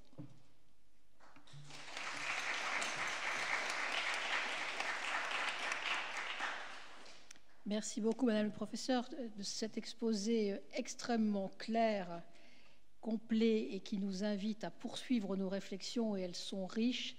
Je vous rejoins sur le dernier point de ce que vous appelez administrabilité. Nous y sommes confrontés au quotidien. Il y a certainement un chantier à réouvrir et une pensée là aussi à, revisiter. Euh, Madame la conseillère, euh, vous avez euh, la, mission, la rude mission de nous dresser maintenant un, panorama de, des arrêts les plus significatifs de la Chambre commerciale pour nous permettre cette confrontation entre l'actuel et la, pensée future et pour nous éclairer sur le chemin que vous nous invitez à, prendre dans nos réflexions sur l'application de ce règlement au regard non seulement de l'article 102, mais aussi des pratiques restrictives et de la concurrence déloyale. Merci, euh, Madame la Présidente. J'étais en train de tenter d'ajuster euh, cette, euh, cette, présentation. Monsieur le Président, Mesdames, Messieurs, chers collègues, Madame la, professeure, vous, avez ravivé des souvenirs hein, sur cette question des, approches par les effets. Euh, et euh, en réalité, euh, je voudrais revenir sur l'intitulé du, sujet parce que effectivement, une, vision qui s'attache au point virgule, au point de et, à la virgule dans l'intitulé du texte montre qu'il y avait une possibilité de confrontation de deux champs de, renouveau. Donc, la réglementation sectorielle en matière d'économie numérique telle que vous venez de nous l'exposer, et puis la jurisprudence de la Chambre commerciale en matière euh, d'abus de position dominante, tout secteur confondu, dans l'idée de faire le bilan effectivement de cette période de renouveau déjà euh, d'il y a, euh, quelques années qui s'est matérialisée notamment par la communication dont vous avez fait état de, 2009 sur, de la Commission sur les abus des fictions et sur ces grands débats que nous avions effectivement dans les années 2000 sur l'approche par les effets. Et donc l'idée était de faire un peu le bilan de ce renouveau-là puisque par définition, moi je ne vais pas pouvoir tellement faire de, prospective, mais plutôt tenter de revisiter un peu le, passé pour voir s'il peut euh, éclairer cet avenir euh, qui vient de nous être dessiné sur une nouvelle approche euh, en matière de, régulation du fonctionnement, du fonctionnement des, plateformes. Vous avez évoqué, je fais juste une petite parenthèse, sur la comparaison toujours avec ce qui se passe aux, États-Unis. il me semble avoir lu qu'une possible solution, qui n'a semble-t-il pas plus été mise en œuvre aux États-Unis, euh, euh, que, que, dans l'Union sur euh, la façon de traiter ce problème, ou cette situation plus exactement, pour employer un terme neutre, du pouvoir de marché des, des plateformes, c'était éventuellement la solution du démembrement ah qui a été mise sur la place publique, notamment, notamment aux États-Unis pour revenir finalement à un outil que les États-Unis euh, avaient mis en œuvre euh, fin 19e siècle ou début du, 20e siècle pour traiter euh, de problématiques de monopole devenus, devenus sur, surpuissants. Bon, on n'en est pas à ces outils qui sont peut-être un peu archaïques et on en est venu à cette, donc, cette réglementation dont vous nous avez expliqué la, complexité et qui va donc peut-être conduire à revisiter effectivement de façon critique ce qu'a été la, jurisprudence passée, pour celle de, la Cour de cassation, évidemment je m'en tiendrai à celle-ci, euh, en matière, euh, en matière d'abus de, position dominante sur à peu près les 10-15 euh, dernières, années. Donc je, vous présenterai d'abord, dans une première partie, cette, cette jurisprudence alors récente. c'est un terme peut-être à l'aune de la durée de ces procédures, j'y reviendrai parce que vous y avez fait allusion, c'est peut-être une source de difficulté. Je passerai rapidement donc en revue euh, les secteurs concernés, les, pratiques qui ont pu être vues, des questions de procédure, des questions de fond, et puis j'en viendrai d'autant plus à la question de l'intensité du contrôle de, la Chambre commerciale euh, en la matière que vous avez éventuellement euh, nourri une, potentialité critique de l'intensité de, ce contrôle avant de, faire, comme l'avait annoncé euh, le président Vigneault, un focus sur un arrêt du, 1er juin 2022 qui n'a rien à voir avec le secteur des, plateformes en apparence, euh, sur lequel je tenterai de faire un lien euh, avec ce que nous ont appris les observations de l'avocat général Ramos dans l'affaire Facebook allemande que vous avez évoquée. Et puis dans une deuxième partie, je, je verrai que finalement la situation des plateformes, elle est apparue dans la jurisprudence de, la Chambre commerciale moins dans le traitement des abus de position dominante que dans celui de la concurrence déloyale et des pratiques restrictives, ce qui permet peut-être de faire effectivement un pont avec euh, euh, ce qui est susceptible d'arriver dans des euh, domaines résiduels de compétences des juridictions telles que vous les avez, vous les avez évoquées. Alors, j'ai une petite liste d'arrêts sinon à commenter, à, évoquer, euh, un peu fastidieuse telle qu'elle est présentée, mais la première question effectivement qui vient euh, à l'esprit, c'est de savoir finalement quels secteurs ont été les plus visités dans la jurisprudence de, la Cour de cassation euh, en, matière d'abus de, de, position dominante. Et finalement, sans surprise, c'est évidemment les anciens secteurs monopolistiques ouverts à la concurrence par des évolutions normatives, euh, donc transformant des, monopoles légaux en, secteurs désormais ouverts à la concurrence, que finalement on compte le plus grand nombre d'affaires euh, qui sont venues euh, jusqu'à la, Chambre commerciale et qui ont donné lieu à un certain nombre de décisions et de précisions jurisprudentielles. On, verra ensuite qu'il y a un autre secteur, et ça n'est sans doute pas un hasard, qui a euh, concentrer un certain nombre d'affaires, c'est le secteur des médicaments. Et puis, euh, un inventaire à l'après-vert permettra de voir que euh, bien divers sont les secteurs où ont été abordés des abus de, position dominante par, par, la, par la Chambre commerciale. Il n'est effectivement pas très étonnant de constater que le secteur de l'électricité, le secteur de la téléphonie, alors, avec différents types de, procédures, euh, le fret ferroviaire, le secteur de la télédiffusion, tous secteurs donc euh, ouverts à la concurrence ont donné lieu donc aux décisions que vous voyez euh, apparaître ici.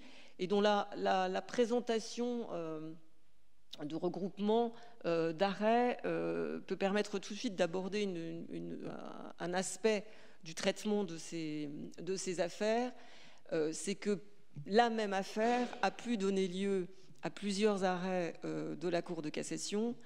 Euh, j'y reviendrai après, euh, ce qui est sans doute un témoignage de, leur difficulté à être appréhendés à la fois par l'autorité, quand c'est une affaire qui vient de l'autorité, par la Cour d'appel de Paris, et puis aussi éventuellement par, par la Cour de cassation. Mais c'est pour ça que vous voyez apparaître, je vais prendre un exemple sur le fret ferroviaire, le premier arrêt euh, de 2016 euh, euh, est un arrêt de cassation, l'arrêt du 9 juin 2021, un arrêt de rejet, donc une procédure qui a mis un, certain temps. Si on se souvient bien, la pratique elle-même a été, je crois, sanctionnée par l'autorité en, en, 2013, l'affaire du fret, ah, fret ferroviaire. Voilà. Donc, pour, pour donner un exemple de, de durée de, dans le temps euh, de, de, ces, de ces procédures. Alors, sur quel euh, terrain euh, finalement les questions ont été tranchées les questions se sont posées à la Cour de cassation, eh bien, il y a des questions processuelles spécifiques. Vous voyez qu'on est loin à ce stade des questions sur la problématique des effets, mais qui ont été, qui ont été soumises à la Chambre dans, ces matières. Spécificité nationale, mais qu'on ne peut pas euh, ne pas euh, évoquer, euh, puisque, puisque c'en est une, eh bien, c'est la question de la compétence des ordres de, nos deux ordres de juridiction. Et deux affaires en matière d'abus de position dominante ont donné lieu à des décisions du tribunal de commerce en 2020, des conflits, pardon, en 2020 et en 2022. Euh, pour, euh, pour euh, savoir quel ordre était compétent dans une première affaire, pour savoir quelle juridiction pouvait appréhender les griefs faits à une politique de communication de l'autorité qui s'appuyait par ailleurs sur une décision de sanction de cette même autorité, frappée par ailleurs d'un recours devant la Cour d'appel de, Paris. donc ça, c'est l'affaire intitulée Roche. Et puis, dans une autre affaire, venant, elle, du Conseil d'État, l'affaire Google, posait la question de la juridiction compétente pour appréhender une limitation d'un dispositif de publicité de la décision de l'autorité, là aussi dans, une procédure de sanction. Et ces deux décisions, les affaires ne sont pas terminées par ailleurs sur le euh, comment dire, il y a des, recours qui sont, qui sont pendants. Mais en tout cas, ces deux décisions du, tribunal des conflits ont balisé le terrain sur la question de l'ordre juridictionnel compétent en euh, finalement reconnaissant quelque part l'existence d'un bloc euh, juridictionnel compétent dès qu'il y a une décision de, sanction qui est celui donc qui est l'ordre judiciaire.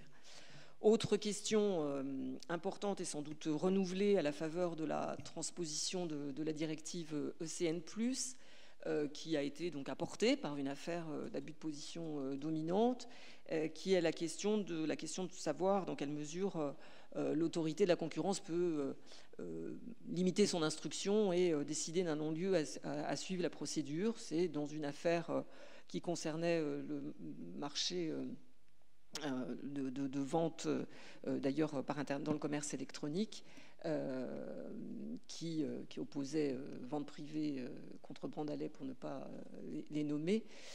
enfin, en tout cas, une, saisine, je crois, de vente privée de l'autorité qui dénonçait des pratiques de Brandalais. Et l'autorité, après une première notification de grief, a décidé qu'il n'y avait pas lieu à poursuivre la procédure. Et cette décision a été contestée. Et euh, il est intéressant de, lire euh, euh, l'arrêt de la Cour d'appel de, Paris, bien sûr, et la décision de la, Chambre commerciale qui a approuvé cette décision de, non-lieu à poursuivre la procédure au regard d'un certain nombre d'investigations qu'avait néanmoins fait l'autorité, notamment sur la délimitation du, marché, pertinent dont dépendait l'éventuelle qualification euh, d'une position, dominante. Alors, je cite cet arrêt qui est quelque part un peu, historique, euh, dans la mesure où désormais euh, l'autorité dispose, comme vous le savez, depuis la transposition de la, directive ECN, de moyens très clairs de disposer d'une forme d'opportunité de, des poursuites en considération d'un certain nombre de critères qu'elle a mis en œuvre. En fait, c'est pour ça que je voulais parler de cette décision, parce qu'elle m'amenait à, donc cette première décision qui a été rendue par l'autorité dans le, secteur postal à la suite d'une plainte qu'elle a décidé donc de ne pas instruire. Et parmi les critères que l'autorité indique comme justifiant le fait euh, qu'elle euh, décide de ne pas y consacrer euh, ses moyens pour pouvoir les allouer à d'autres procédures, elle évoque la possibilité, évidemment, pour la partie s'estimant lésée par une pratique, de se retourner vers les juges, donc le tribunal de, commerce, selon toute vraisemblance, ou le tribunal judiciaire selon la, nature de, l'entreprise, mais en fait c'est le tribunal de, commerce. Et donc euh, il faut avoir en tête qu'effectivement l'utilisation de ce dispositif, y compris donc dans une procédure où on invoquait un abus de position euh, dominante, euh, est susceptible de, de voir opérer un, transfert avec une demande de qualification d'une pratique, voire et au soutien sans doute d'une action en réparation. Euh, ces affaires, euh, des affaires d'abus de position dominante, ont aussi permis de clarifier la question du droit des parties plaignantes dans les procédures euh, d'engagement ou dans les procédures d'obstruction. Et d'ailleurs, la, solution donnée met assez clairement en, évidence que l'autorité ayant pour mission une défense du marché, du bon fonctionnement du marché, du fonctionnement concurrentiel du marché, dont le dysfonctionnement éventuellement ont pu lui être euh, soumis à appréciation par une entreprise qui s'en estime victime, n'entraîne pas nécessairement néanmoins euh, des droits spécifiques euh, pour ces parties plaignantes, notamment dans les procédures d'engagement ou les procédures d'obstruction, parce que en fait les droits de ces entreprises ne sont pas susceptibles d'être affectés. en tout cas, c'est le raisonnement qui a été conduit et, approuvé par, la Chambre commerciale euh, dans, ce type, euh, dans ce type de pratique, ce qui donc est un facteur de limitation euh, des droits de ces, de entreprises. C'est dans une affaire d'abus de position dominante que la Chambre commerciale a aussi été amenée à affirmer le principe de l'absence de droit aux engagements d'une entreprise mise en cause pour euh, ces pratiques. Enfin, c'est dans une affaire d'abus de, position dominante, purement nationale, là, on n'était pas dans l'article 102, mais dans l'article L422 du Code de commerce, euh, que euh, la, euh, comment dire, la, Chambre commerciale, approuvant un arrêt de la, Cour d'appel de, Paris, a considéré que l'autorité qui en avait la charge avait insuffisamment fait la preuve et de, la, comment dire, du caractère excessif de prix qui était susceptible euh, de voir des augmentations tarifaires euh, prononcées par, euh, mises en œuvre par une entreprise disposant d'un monopole en Corse sur le traitement des déchets sanitaires. donc ces, augmentations étaient éventuellement susceptibles de, si, si le, prix excessif en avait été démontré, de revêtir la qualification d'abus.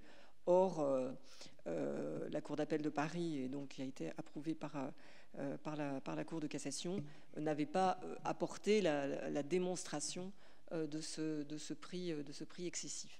Donc voilà pour des affaires à cheval. D'ailleurs, la charge de la preuve nous amène quand même plus sur le, sur le fond que sur, le, que sur le, la procédure. en tout cas, ce qui est certain, c'est que les, affaires qui ont été soumises dans ces, dans ces différents secteurs euh, à la Cour de cassation euh, sont très variées. Euh, il y a des pratiques de prix de prédateurs, des pratiques tarifaires donc susceptibles de, revêtir la qualification d'abus, des remises, des rabais d'exclusivité, des accords d'exclusivité, des mises à disposition de moyens de, l'ancien monopole, des informations tardives remises à un concurrent ne lui permettant pas d'exercer de, euh, une concurrence sur, sur un marché euh, aval de l'ancien marché euh, dominé, des refus de vente discriminatoires, des dénigrements, etc. etc. Alors, Madame la professeure a évoqué la problématique de la typologie abus d'éviction, abus d'exploitation. J'ajouterais abus réglementaire, sur lequel je reviendrai à l'évocation de l'arrêt du 1er, du 1er juin 2022 en réalité, euh, euh, cette, classification, euh, enfin, pour un, pour un juriste, elle n'a d'intérêt que si le régime juridique est spécifique. Et notamment s'agissant de la problématique des effets, en réalité, la nécessité de prouver la capacité d'une pratique à avoir un effet sur le fonctionnement de la concurrence, il il est euh, indispensable, quelle que soit la classification, euh, la classification de la pratique. Donc, vous en avez noté les limites pour différentes raisons, euh, peut-être plus d'analyses de, économiques qui ont conduit à, cette caractérisation, mais de toute façon, du point de vue de l'analyse de l'intérêt de cette distinction au regard d'un régime juridique qui aurait été spécifique et notamment sur le critère de, de l'effet anticoncurrentiel qui est quand même euh, déterminant. Euh, en réalité, on peut observer à la lecture d'un certain nombre de décisions euh, d'abord de la Cour de justice et puis bien sûr de la, Chambre commerciale qui ne va pas dire le contraire lorsqu'elle applique l'article 102, démontre qu'il n'y a pas du point de vue de la, nécessité de prouver un effet anticoncurrentiel, d'intérêt finalement spécifique à cette typologie.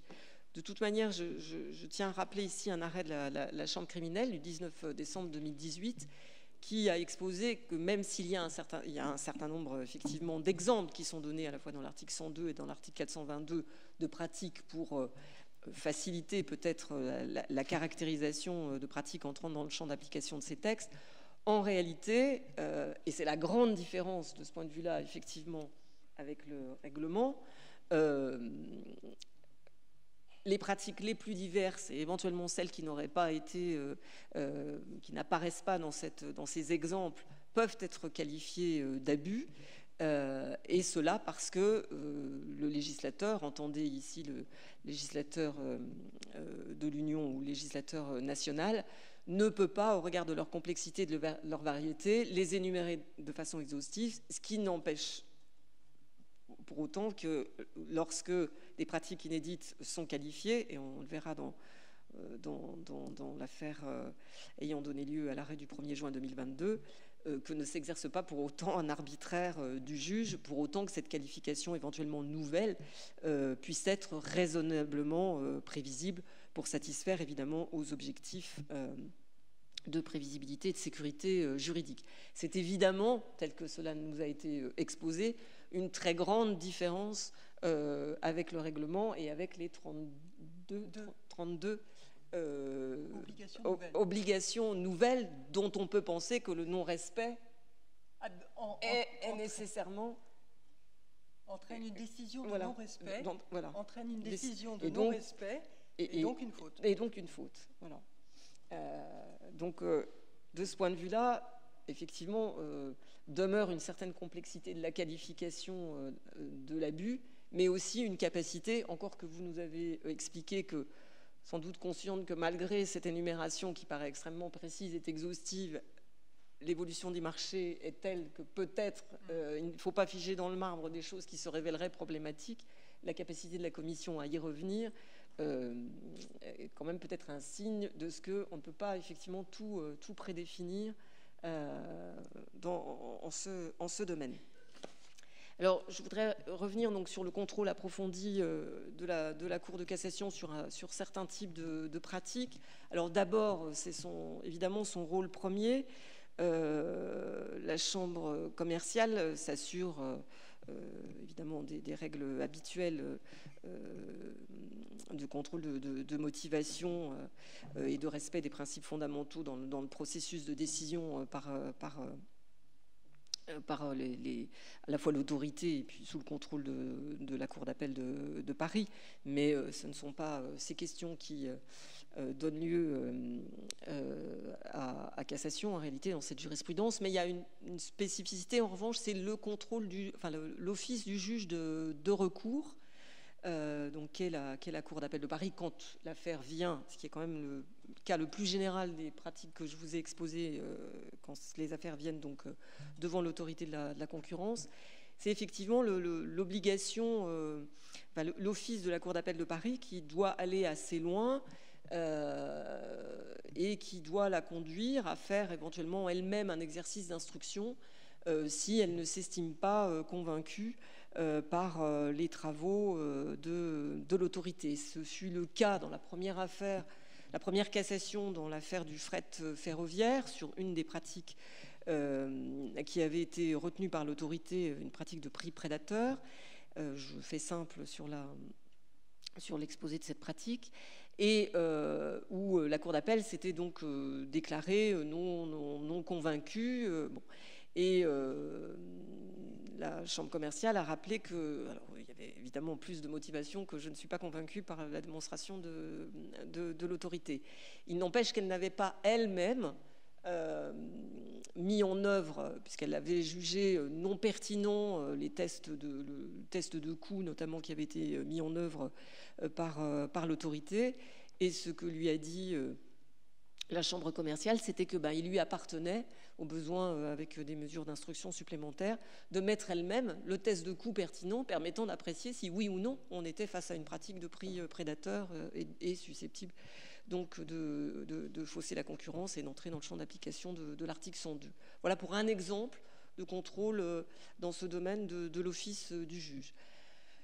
Un autre exemple, euh, cette fois-ci pris dans le secteur de la, téléphonie, c'est le contrôle effectivement assez approfondi euh, de la Cour de cassation sur la délimitation du marché pertinent, qui est une notion euh, juridique et où la Chambre s'assure que les méthodes de délimitation de ce marché pertinent qui ont été élaborées par la doctrine économique et par la jurisprudence ont été mises en œuvre par,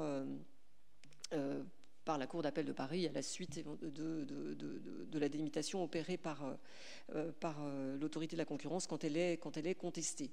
Et la première cassation intervenue dans le secteur de la téléphonie mobile portait justement sur, dans le, sur le, point de savoir s'il y avait un, marché de la téléphonie interruptible pour les personnes qui ont un abonnement, enfin une le téléphone dans leur résidence secondaire, pardon, je, fais simple sur les aspects, sur les aspects factuels, et où était étudié, vous savez qu'il s'agit toujours pour délimiter un, marché pertinent de savoir si les produits sont substituables à d'autres. Il y a plusieurs méthodes appréciées par l'offre, par la demande. Ni l'une ni l'autre des approches qui avaient été retenues par, la, Cour d'appel de Paris répondaient euh, au canon, je dirais, euh, de, euh, des méthodes de délimitation, que ce soit du côté de la substituabilité de l'offre ou, ou, ou, de la demande. En tout cas, n'était-elle pas suffisamment motivée? Car l'affaire ayant été renvoyée, la Cour d'appel de Paris a motivé la définition d'un marché pertinent, comment dire, donc de la, de, dans ce secteur, et a expliqué pourquoi un certain nombre de euh, critères habituels ne pouvaient pas être utilisés. Et cette euh, motivation a été validée parce que euh, le, contrôle, évidemment, il y a des catégories, il y a les enseignements de la doctrine économique, il y a les enseignements de la jurisprudence. Mais, et vous l'avez évoqué, l'important est de regarder concrètement au cas par cas et donc de justifier éventuellement de s'écarter d'éléments doctrinaux et jurisprudentiels en considération de particularités de fonctionnement d'un secteur, d'un secteur donné. Par ailleurs, et peut-être pour euh, euh, alléger ce que vous évoquiez en termes de charge de la preuve dans cette affaire, euh, mais là c'est sur le, problème du, test de coût, la, Chambre commerciale a admis qu'il pouvait, être qu'il pouvait y avoir un recours au faisceau d'indices et pas seulement s'agissant d'apprécier la nature de la pratique, qui était une, une pratique de ciseaux tarifaires, pas seulement un test, un test de coût, mais qui par ailleurs était un des éléments qui avait été euh, euh, mis en œuvre euh, dans cette affaire. Alors, cette affaire illustre quand même la difficulté et peut-être un, moyen d'évoquer euh, la question de l'administrabilité euh, euh, et de la preuve et, du contrôle dans, ces, dossiers, parce qu'il y a eu une troisième cassation prononcée, une deuxième, pardon, une deuxième dans cette affaire. Donc l'affaire est retournée devant, la cour d'appel de, Paris et, et, donc vous pouvez mesurer qu'effectivement c'est une, une, affaire qui dure et qui ne permet pas donc nécessairement d'aborder la question qui était euh, à l'origine de cette interrogation sur euh, comment euh, la Cour de cassation a abordé l'approche par, les effets conformément à la modernisation et qui était envisagée dans les années 2000. Je vais dire assez prosaïquement, encore faut-il qu'on en arrive à ce stade de la démonstration. Et c'est la difficulté particulière évidemment de ces affaires, de commencer d'abord toujours par des questions éventuellement de procédure, puis des questions de délimitation de marché, puis des questions de caractérisation des pratiques, et puis des questions, la question fondamentale, euh, la pratique a-t-elle un effet euh, effectivement sur le fonctionnement de la concurrence? Mais euh, si une cassation intervient en amont dans des problématiques qui se posent comme cela en cascade, évidemment, on arrive à des procédures longues et sans doute qui ont été, alors pas nécessairement celles de euh, devant la Cour de cassation. Euh, ne nous flagellons pas et, restons modestes par ailleurs, mais en tout cas, les procédures que vous avez euh, évoquées devant les juridictions de, l'Union se sont révélées effectivement longues et, coûteuses, notamment en, termes, d'expertise. Donc, en tout cas, effectivement, quelques affaires devant, devant la Chambre commerciale illustrent à la fois les, difficultés de qualification et euh, la longueur des procédures qui peut, qui peut, euh, qui peut en résulter. Alors, euh, ce que je voudrais dire aussi plus généralement, c'est qu'évidemment, quand il s'agit de l'article 102, la Chambre ne se départit pas de l'analyse faite par la, par la Cour de justice, et c'est tellement vrai, alors même que d'ailleurs que ça n'était pas nécessairement la pratique rédactionnelle habituelle de la Cour de cassation de façon, de façon large, ça fait bien longtemps que la Chambre commerciale notamment dans ces affaires de concurrence, euh, fait référence aux arrêts de, la Cour de justice dans sa motivation. Et elle le fait de plus en plus, et notamment, euh, euh, pour un dernier exemple, dans l'affaire du fret, donc la deuxième, celle où le pourvoi a été rejeté et où s'est posé la question de savoir si le test de coût qui finalement avait été choisi par la Cour d'appel de Paris était pertinent ou pas. la, motivation rappelle les arrêts pertinents de la Cour de justice en matière de bons tests de coûts, si je puis dire, dans ce type de pratique, euh, pour la confronter d'ailleurs, pour les, pour les confronter ces décisions à, au cas particulier, une non-utilisation de, de, ce test, enfin la non-utilisation d'une variable dans ce test qui était les coûts des, des, concurrents, et avec une approbation de la motivation parce que la Cour d'appel a expliqué pourquoi ces tests dont elle n'ignorait rien, comme sa motivation le, révélait, n'étaient pas pertinents au cas d'espèce euh, euh, en considération de, la nature, euh, des faits et de la pratique en cause. Donc, même si la motivation des arrêts de la Cour de cassation est à l'évidence plus courte que celle de la Cour de justice dans des affaires de concurrence, je vais prendre comme exemple dans, le secteur de l'électricité, vous pouvez comparer un, arrêt du 27 septembre 2017 et un arrêt tout récent qu'a rendu la, Cour de justice du, 22 mai, du 12 mai 2022 où en fait ce sont les mêmes pratiques, donc euh, l'une pour l'entreprise nationale évidemment en France et l'autre devant la Cour de justice concerne euh, l'équivalent euh, de notre entreprise nationale, l'entreprise nationale italienne, mais ce sont exactement les, mêmes, le même type de pratiques. Euh, évidemment, la décision de la Cour de justice est euh, euh, beaucoup plus longue. il n'empêche que la Cour de cassation peut se satisfaire de voir que même en ayant fait plus court, et avec donc quelques années d'anticipation, mais parce que l'affaire est venue devant l'autorité de la concurrence plus, tôt, eh les analyses sont complètement convergentes. Heureusement, mais c'était un, moyen d'illustrer effectivement un, mode euh, opératoire et de, motivation, de motivation euh, euh, différent. L'arrêt renvoie d'ailleurs à l'expérience française. Voilà. Donc oui, c'était. Et, d'ailleurs, et d'ailleurs, cette affaire rappelle. Enfin, il suffit de ce point de vue-là de, lire à la limite le, le, communiqué de presse pour ceux qui, ne voudraient pas euh, aller, aller au-delà. Mais bien sûr, il, vaut mieux aller au-delà. Mais pour en revenir à la question de la typologie, euh, la Cour euh, rappelle que la, problématique des effets reste indépendante de la caractérisation de l'abus et que de toute façon, tout en rappelant les objectifs du droit de la concurrence qui est de protéger le bien-être du consommateur, elle rappelle que pour qu'une pratique soit sanctionnée, il faut qu'elle ait la capacité de produire un effet même potentiel euh, sur, euh, la concurrence et que la possibilité, éventuellement la preuve que pourrait ramener l'entreprise de ce que la pratique a eu un effet bénéfique euh, pour, les consommateurs n'est pas de nature à exclure la qualification, mais peut être prise en compte dans le, balancement de l'appréciation de l'existence des faits. Voilà pour...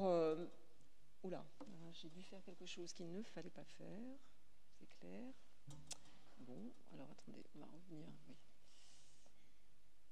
Alors, euh, avant de, revenir sur le, secteur des, médicaments, je reviendrai en arrière. Euh, J'évoquais un inventaire à la, à Prévert sur lequel je vais passer très vite vu l'heure, mais vous trouverez donc dans la pratique juridictionnelle euh, de la Cour de cassation euh, des pratiques qui concernent le secteur de la presse, euh, les produits laitiers à La Réunion. La dimension géographique du marché est importante, c'est pour ça que c'est précisé.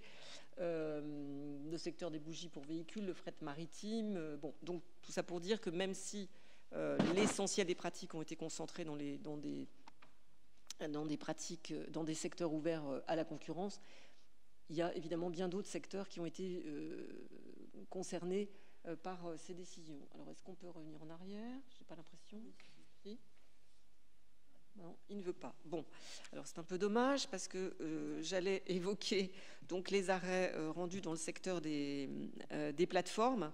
En réalité, il y en a trois, deux dans une même affaire là aussi, euh, première cassation et rejet ensuite, dans une affaire qui opposait Canopy à, Google en 2016 et 2013, donc qui sont assez anciennes, et l'une toute récente du 19 euh, octobre 2022, euh, qui concerne toujours d'ailleurs le même service d'information payante avec différents opérateurs qui étaient allés directement devant le juge de, commerce contre, contre Google en référé.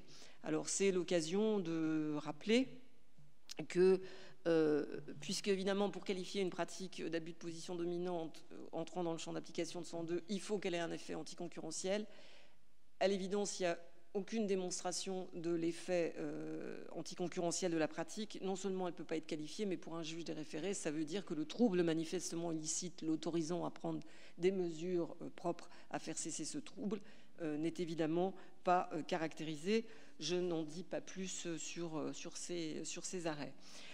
J'en viens donc aux, arrêts, à des arrêts rendus dans le secteur du médicament parce que pour deux d'entre eux, donc ils ont euh, concerné des pratiques de, dénigrement, mais parce que euh, euh, ils, ont été, parce qu'il y en a eu aussi un certain nombre dans la jurisprudence de, l'Union, étaient évoqués comme caractérisant un secteur sensible dépassant le fonctionnement du marché et un certain parallèle est fait de ce point de vue-là avec les big tech et les enjeux civilisationnels que vous avez évoqués en introduction. Alors là, ce ne sont pas évidemment des enjeux civilisationnels, mais, mais euh, il est question de santé et de santé publique, donc évidemment un enjeu qui colore de façon toute particulière le bon fonctionnement du, marché dans ce, secteur. Et donc je souhaitais faire un, focus sur un arrêt qui a été rendu le, 1er juin 2022 euh, euh, par, la, par la Chambre commerciale, d'abord parce que c'est une pratique inédite.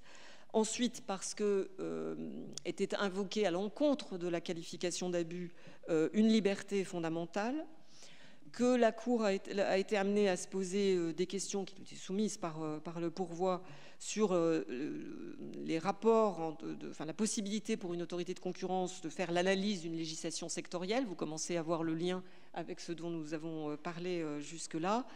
et donc, son champ d'intervention par rapport à celui d'une autorité sanitaire et donc quelles leçons on peut en tirer merci, pour, euh, pour l'avenir. Alors la pratique en cause, hein, donc euh, inédite et qu'on classe dans la typologie des abus réglementaires parce que c'est dans le secteur pharmaceutique que euh, la cour de, le, tribunal de l'Union ou la Cour de justice ont connu d'affaires concernant d'ailleurs le secteur du médicament et qui ont donné lieu à cette, qualification de, pratique euh, d'abus réglementaires. Donc, concernait un laboratoire qui a, dans son dialogue avec euh, l'autorité euh, de santé nationale, soutenu une thèse qui s'avérait juridiquement erronée, ce que l'opérateur ne pouvait pas ignorer. Et la soumission de cette thèse dans le dialogue avec l'autorité de santé avait pour effet de retarder l'entrée d'un médicament concurrent sur, euh, le marché. les questions à résoudre pour euh, euh, la Chambre étaient de, savoir si l'autorité de concurrence avait une compétence pour apprécier le corpus juridique dont l'application peut relever d'une autorité sanitaire. Il y avait déjà de ce point de vue-là un arrêt de la Cour de justice qui avait défini une règle, une règle de partage. L'autre question à résoudre, c'était l'analyse du, cadre juridique communautaire et national du droit des médicaments, s'agissant des conditions de mise sur le marché des, médicaments dits génériques et des conditions qui sont communautaires et des conditions qui, elles, sont nationales d'inscription sur un marché, euh, un répertoire des médicaments génériques qui permettent l'exercice de la substitution entre princeps et génériques par le pharmacien. Vous voyez que c'est là que se joue l'enjeu euh, concurrentiel de, la question, et sanitaire aussi d'ailleurs. Et puis euh, la qualification donc euh, de l'abus en présence de l'invocation du droit euh, à la liberté, liberté d'expression. Alors les réponses qui ont été données, je renvoie d'ailleurs à la publication de la dernière lettre de la Chambre commerciale qui détaille, que vous trouvez sur le site internet de la, de la Cour et qui commente donc cet arrêt, ce qui va permettre d'y aller très vite. Donc en tout cas l'arrêt du 1er juillet retient la compétence de l'autorité de la concurrence d'analyser le cadre juridique des pratiques tant qu'il n'y a pas d'appréciation scientifique, ce qui se distingue de l'affaire traitée par la Cour de justice où il y avait une appréciation scientifique et donc où la Cour de justice a dit l'appréciation scientifique sur un problème de médicament, c'est évidemment pour une autorité sanitaire et pas pour une autorité de concurrence. Euh, la complémentarité des textes européens et nationaux ont été interprétés au nom de l'effectivité du droit de l'Union de matière à assurer la cohérence de l'ensemble des normes en cause.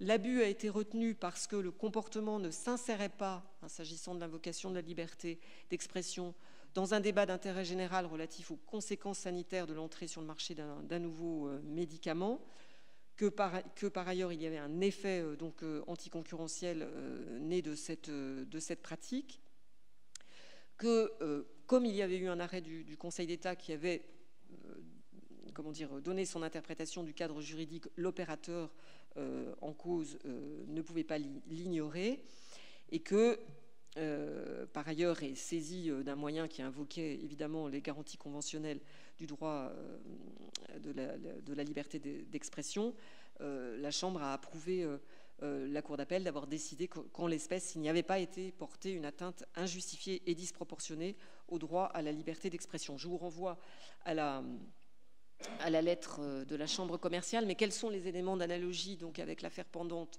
devant la Cour de justice que vous avez évoquée?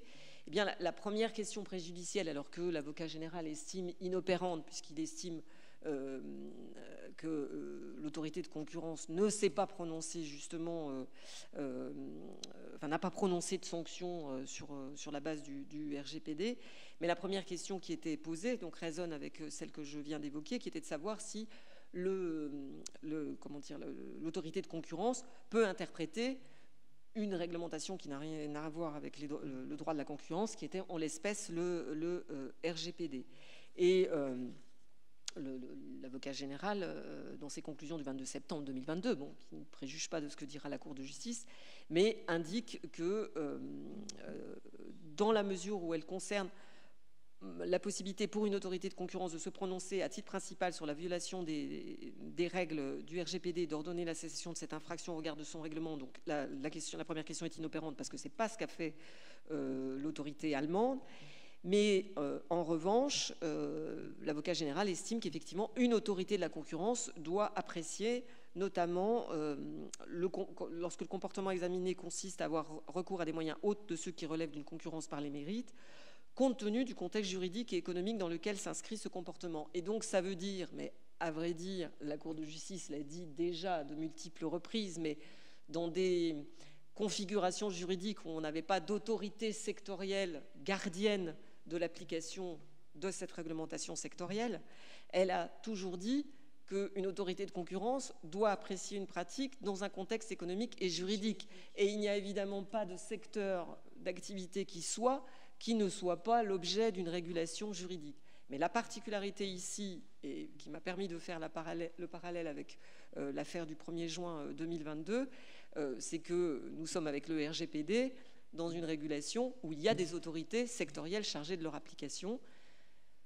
comme il y a dans, comment dire, dans le règlement désormais une, réglementation sectorielle avec une autorité unique chargée de l'appliquer, qui, est, euh, qui est la Commission. Je passe très vite mais vous l'avez déjà euh, abordé sur l'exigence de coopération loyale entre autres autorités qu'évoque l'avocat général Ramos, qui ne se posait pas dans, l'affaire de la de la, euh, devant la Cour de cassation, mais euh, si elle se l'était posée, je, pense que euh, n'aurait pas pu être dit autre chose au regard d'un principe, puisqu'on était dans le champ du droit de l'Union, au regard d'un principe de bonne administration générale, qui est une, valeur garantie par le droit de l'Union et qui oblige à cette coopération loyale entre autorités et voire entre autorités et, et juridiction.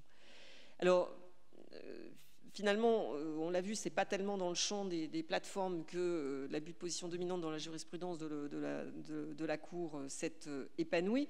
Encore que je dois dire, vous l'avez évoqué, mais moi évidemment je n'en dirai rien, on peut imaginer qu'une des affaires que vous avez évoquées, si j'en crois la presse, viendra devant la Cour de cassation. Il s'agit de l'affaire Apple, puisque à la publication de l'arrêt de la Cour d'appel de Paris rendu en octobre dernier, euh, il y a eu des déclarations dans la presse indiquant qu'un pourvoi serait formé, mais bon, voilà, je ne peux pas en, dire plus. En tout cas, dans le champ toujours du passé, euh, euh, il est intéressant de regarder ce qui a pu être fait dans les actions en réparation en matière de concurrence déloyale et en matière de pratiques restrictives. Donc très vite, parce que je crois qu'il doit me rester cinq minutes.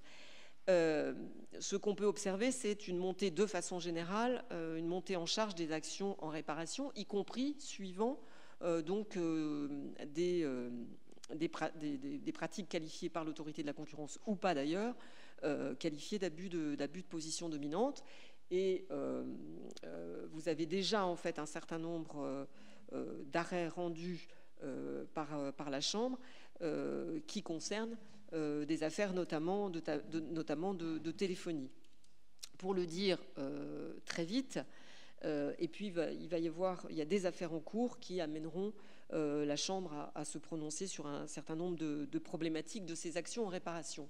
Tout ce que je peux dire à ce stade, et la lecture des décisions euh, euh, de toute façon le, confirme, euh, c'est que comme nous sommes dans le champ de la responsabilité civile, nous sommes dans l'application du, du, triptyque classique, faute, lien de causalité, préjudice et lien de causalité entre cette faute et le préjudice, et que aucune des affaires que je viens de, de citer ne sort de cette analyse.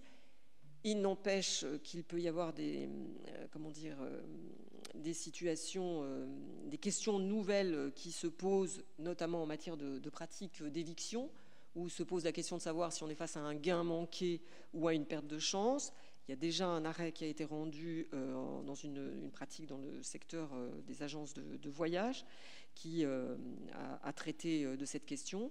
la question va être reposée à la, cour de, cassation.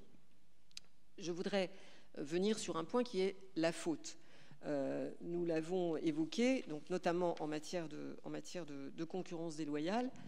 Euh, il est euh, jugé, archi-jugé, que la méconnaissance d'une réglementation qui s'applique à un secteur d'activité particulier est une faute civile que le concurrent donc euh, peut invoquer au soutien d'une action en concurrence déloyale et en réparation de, son préjudice. Vous l'avez évoqué à l'occasion de, cette affaire où la, Chambre a essayé de déterminer comment s'évaluait euh, dans ces conditions euh, le préjudice causé, par, causé aux concurrents par cette pratique de non-respect d'une réglementation. Tout ce qu'on a évoqué sur cette réglementation désormais obligatoire euh, peut laisser présumer que euh, action en réparation qui se fonderait sur une violation constatée par la Commission serait de nature, enfin en tout cas au regard de la jurisprudence traditionnelle euh, de, la Cour de cassation, de faire considérer qu'il y a bien une faute, une faute, puisque encore une fois le, manquement à une norme est en principe euh, dans, cette, dans cette jurisprudence euh, une faute. Alors, en réalité, euh, ces actions en, réparation, donc je l'ai déjà dit, il faut établir la faute, le préjudice, le lien de causalité. Sur l'évaluation du préjudice, certes, il y a un pouvoir souverain, mais le respect d'évaluation des juges du fond, mais le respect du principe de la réparation intégrale, évidemment, entraîne la Cour de cassation à s'assurer de ce que la, motivation et la nature de ce qui a été soumis devant les juges du fond euh, lui permettre de vérifier si ce principe a été, euh, euh, respecté, respecté ou pas. Donc en tout cas, je crois voir un point de contact entre des, actions futures et le règlement au travers de cette jurisprudence classique de responsabilité. Alors en matière d'approche par les, pratiques restrictives, eh bien, la situation des plateformes a déjà donné lieu à des, décisions, d'abord pour la détermination du juge compétent, ou après une question posée à la Cour de justice, il a été considéré que le, juge national était bien compétent pour apprécier des pratiques euh, mises en œuvre par des plateformes qui opèrent euh, de l'étranger. Euh, c'est aussi à l'occasion d'une affaire portant sur une plateforme de réservation hôtelière que la Cour euh, a répondu à une question euh, euh, qui intéressait beaucoup la doctrine de qualification de la, pratique de déséquilibre significatif dont la Cour a jugé qu'il s'agissait d'une loi de police, avec les conséquences qui s'y attachent. C'est aussi en matière de, pratiques restrictives qu'il a pu être considéré que la pratique mise en œuvre par une, par une plateforme opérant en matière de, de taxi pouvait révéler la mise, la, mise en œuvre d'une pratique de prix imposé prohibée donc, euh, par, euh, par la réglementation sur les pratiques euh, restrictives. C'est aussi à l'occasion d'un litige opposant une association professionnelle de, producteurs à une plateforme qu'a été posée une question sur la, constitutionnalité euh, d'une disposition euh, du champ des pratiques restrictives, à savoir la, le, le, fait de consentir un, avantage qui s'avère euh, disproportionné. Et donc c'est une question qui a été transmise par la Cour le 7 juillet 2022 et le Conseil constitutionnel a validé cette disposition. Donc ça n'est pas la moindre des plateformes qui est, concernée puisque c'est une affaire qui oppose donc l'ILEC à Amazon. en tout cas, ce qui est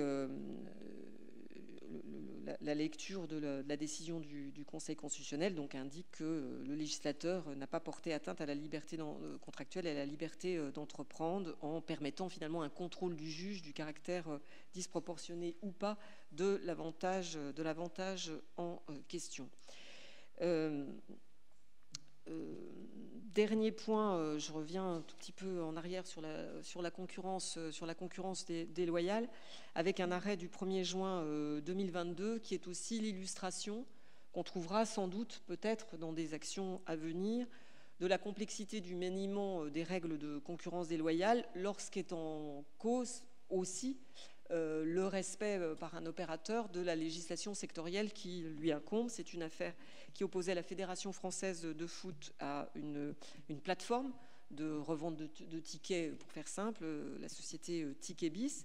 Et euh, vous savez qu'il y a un statut particulier des hébergeurs qui font que leur responsabilité civile ne peut être engagée qu'à certaines conditions définies par cette régulation euh, sectorielle, et notamment, pour faire simple, au, fait, le, départage tel que défini par la Cour de justice, étant de savoir si cette plateforme a un rôle actif ou pas. Et euh, dans l'affaire qui a été soumise à, cette occasion à la, Cour de cassation, eh la, Cour a pu euh, censurer euh, la, solution retenue par, par le, juge du fond parce que la Cour d'appel n'avait pas tiré les conséquences légales de ces constatations qui démontraient que la plateforme n'était pas dans son rôle d'hébergeur qui, euh, comment dire, euh, lui confère une sphère de sécurité au regard de l'application euh, des règles de, responsabilité civile. Elle en était sortie. C'était, en tout cas, ce qui ressortait des constatations opérées par, par la Cour d'appel. Et dès lors, s'appliquait à elle. Et la Cour d'appel devait rechercher s'il y avait bien une faute au regard général, des règles générales de la responsabilité civile. Il y a un petit point où je vais revenir très très très très en arrière, c'est pour dire mais pourquoi finalement il n'y a pas eu euh, beaucoup d'affaires de, plateformes en matière d'abus de position dominante? Euh, je renvoie de ce point de vue-là aux règles de répartition euh, des compétences qui sont issues du règlement 1-2003. Toutes ces affaires, et on l'a vu, vous les avez citées, elles sont allées évidemment, elles ont été traitées par la Commission puisque elles dépassaient le champ d'un État membre. Elles étaient novatrices et appelaient éventuellement à ce que la Commission exerce son, son leadership éventuellement de définition sous le contrôle du tribunal et de la Cour de justice de, pratique. Donc euh, voilà, c'est la raison en réalité, euh, à mon avis, euh, principale qui explique qu'il y a eu peu d'affaires de plateforme dans le champ de, l'abus de position dominante. Donc en conclusion, sur les débats qui ont eu lieu sur le temps judiciaire, du contrôle ex post et la complexité de ces, de ces procédures versus les facilités de la régulation ex ante au vu de ce qui nous a été exposé du règlement, je ne suis pas sûre euh, que ça soit comment dire euh, l'élément déterminant de l'appréciation positive ou pas, euh, sur lequel moi je, n'ai aucune appréciation d'ailleurs à, faire dans un sens ou dans, un autre, mais je pense d'un point de vue purement objectif, je ne pense pas forcément que ça soit un critère de, délimitation des vertus du ex post ou des ex ante contre l'ex post. Euh, de toute manière, sur l'article 101, 102 et 102, euh, euh, puisque nous parlions de 102, il y a des affaires encore à venir qui permettront peut-être d'enrichir le, corpus jurisprudentiel et peut-être donc dans le secteur des plateformes, comme je l'ai évoqué. On peut penser que le juge de l'indemnisation est toujours, de plus en plus au centre du jeu, avec des perspectives éventuellement d'action, en, ce domaine. Et, finalement, euh, ça n'est pas tellement étonnant depuis euh, euh, l'idée que le droit de la concurrence, et donc serait-il désormais un, droit de, régulation sectorielle pour les plateformes, doit marcher sur deux jambes, la sanction par les autorités publiques et la réparation pour les victimes qui est faite par les juridictions. Euh, il est tard pour entrer dans le débat sur euh, la nouvelle approche morale que vous évoquiez euh, et qui serait subjective versus l'approche objective de la faute en matière d'abus de, position dominante. finalement, vu du point de vue du juge national qui applique son droit national de la concurrence déloyale, on dit toujours que c'est, comment dire, l'évocation d'une certaine morale des affaires. Donc, je pense que ça ne choque pas ceux qui appliquent quotidiennement euh, le droit de la, concurrence déloyale et où émergent des comportements qui ont été euh, là aussi typologisés par, la doctrine et dont il est considéré de longue date, plus d'un siècle maintenant qu'à cette jurisprudence, comme étant des, comportements qui ne sont pas euh, effectivement conformes à cette morale des affaires. Voilà ce que, je, voulais dire sur cette revue de, de la jurisprudence de la Chambre et euh, quelques perspectives euh, dressées par le règlement. Merci.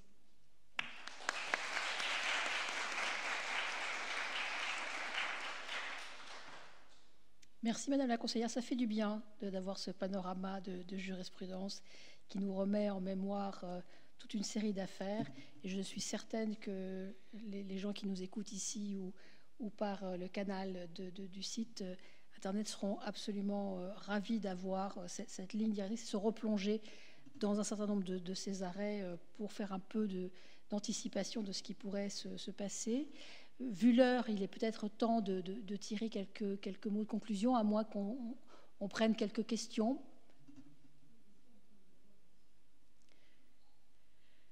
Y a-t-il des questions?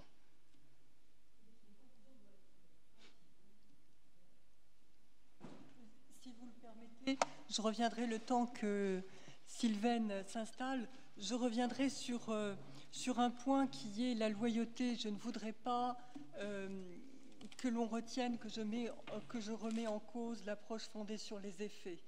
Je dis simplement que euh, nous sommes peut-être tombés dans un excès et que parfois, dans le cadre d'un faisceau d'indices, les, aspects de loyauté euh, doivent l'emporter. Quand je vois certaines affaires euh, de Google où il y a vraiment euh, une multiplicité de comportements déloyaux, je pense que le faisceau d'indices permettrait d'alléger quelque peu l'approche fondée sur les effets, mais il n'en demeure pas moins que nous devons conserver cette, différence entre la concurrence déloyale qui est purement classique, euh, subjective, et puis euh, le droit de la concurrence non faussée, où l'approche fondée sur les effets est absolument nécessaire. mais c'est intéressant de montrer que la loyauté est sous-jacente dans le droit des ententes et des abus de position dominante. Mais l'approche fondée sur les effets, sinon je, serais incendié sur tous les réseaux sociaux. Donc je me permets de, je me permets de revenir là-dessus. Non, mais nous, ferons notre miel de votre tromperie. Euh, et, nous nous souscrivons totalement à cette obligation de loyauté, donc ça nous amènera à réfléchir beaucoup au niveau des juridictions du fond. Bon, donc innovation et pas tabula rasa, hein, c'est ça. Euh, deux raisons d'être euh, content, satisfait. je crois que le, cahier des charges a été rempli. D'abord, on, a organisé une conférence, vous avez organisé une conférence dans un esprit européen, selon la devise euh, unis dans la diversité, avec euh, à la fois des magistrats et des universitaires, euh, avec des juges du fond, avec des juges de la Cour de cassation, travaillant à la fois sur l'approche ex ante et sur l'approche ex post, avec euh, du virtuel et du présentiel, euh, en travaillant tout autant sur la régulation que sur les pratiques anticoncurrentielles. Donc on, a, réussi à, euh, balayer tout cela. et tout cela pour mettre en lumière la politique de concurrence telle que le juge doit la, sentir et, et, la comprendre.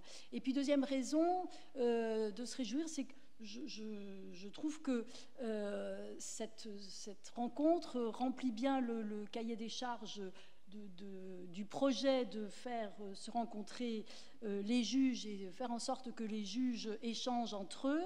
Euh, avec les apports des juges du fond et merci parce que ont été apportées les questions euh, les questions qui se posent aux juges et surtout les premiers juges qui, sont les premiers confrontés euh, à ces nouvelles questions. Nous, quand ça arrive à la Cour de cassation, on a eu le temps de, réfléchir, de, maturer, comme on dit.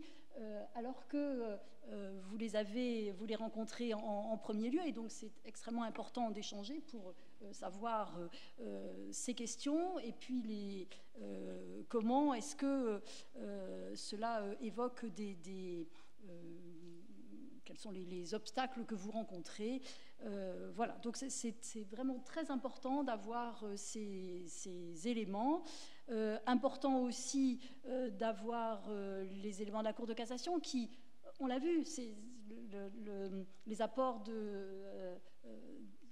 qu'a présenté Carole Champalonne, c'est du cas par cas, parce que euh, contrairement à l'université où, on peut raisonner en, termes de système, nous on est obligé euh, de retrouver le système à partir du cas par cas, mais de, de, partir de là.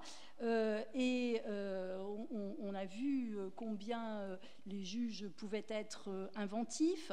On a vu aussi combien le juge se pose la question des articulations entre tout ça. Je ne vais pas, revenir sur les détails, mais euh, apport aussi de l'université, et, merci euh, Catherine, parce que euh, c'est vrai que c'est un, rapport qui a mis en perspective l'analyse économique et l'analyse juridique, l'approche historique aussi de ce qu'on connaît aujourd'hui, parce qu'aujourd'hui on voit ce, règlement marché contestable, mais finalement il y, a, il y, a, toute une histoire derrière le droit de la concurrence, et c'est quand même pas la première fois que la Commission a un pouvoir exclusif. Je rappelle que les exemptions, dans un premier temps, c'était un pouvoir exclusif de la Commission, donc les juges, les juges nationaux n'avaient pas le droit d'y toucher, et les autorités nationales non plus. Hein. Donc, euh, euh, finalement, chaque fois qu'il y a quelque chose de nouveau, c'est un, peu, normal. La Commission qui veut un peu serrer tous les verrous, euh, verrouiller toutes les, possibilités, en fait, elle s'accorde un pouvoir exclusif, mais sans doute dans, quelques années, on retrouvera ce mouvement de décentralisation qu'on a connu en matière d'exemption, en, matière d'entente. Donc merci de, nous avoir apporté tout ça, et puis d'avoir et, j'ai beaucoup aimé les, les, euh, miroitements avec euh, les, rapprochements qu'avait fait euh, Carole entre pratique concurrence déloyale et, libre concurrence, parce que clairement, c'est vrai que ces questions peuvent être vues des deux côtés. Et, je me réfère d'ailleurs à un arrêt du tribunal de commerce de Paris qui avait évoqué la bonne foi également. Hein. donc, donc on est et, donc tous ensemble, on, on, apporte quelque chose. Et, le tout, je rappelle le, aussi un objectif de ces rencontres, le tout pour euh, euh, construire euh, des apports français à notre association européenne de juges de, droit de la concurrence, association à laquelle nous sommes plusieurs à participer, parce qu'il faut que les solutions françaises et ce, qui a été présenté aujourd'hui, eh qu'on puisse euh, l'apporter. Le droit européen ne tombe pas du ciel, le droit européen se fait à partir des, apports nationaux et euh, clairement cette, conférence euh, le, permettra. Voilà. Alors, juste pour conclure, conclure la conclusion, j'ai entendu que le contrôle judiciaire devrait être un peu moins tatillon, que le standard de preuve devrait être sans doute revu à la baisse finalement, c'est une, critique euh, qui me fait très plaisir, parce que ça veut dire que le juge a gagné toute sa place dans le système concurrence. Et je rappelle qu'il y a quelques années, quand même, on se disait, oh, mais ces juges, ils n'y comprennent rien. Euh, voilà. Hein.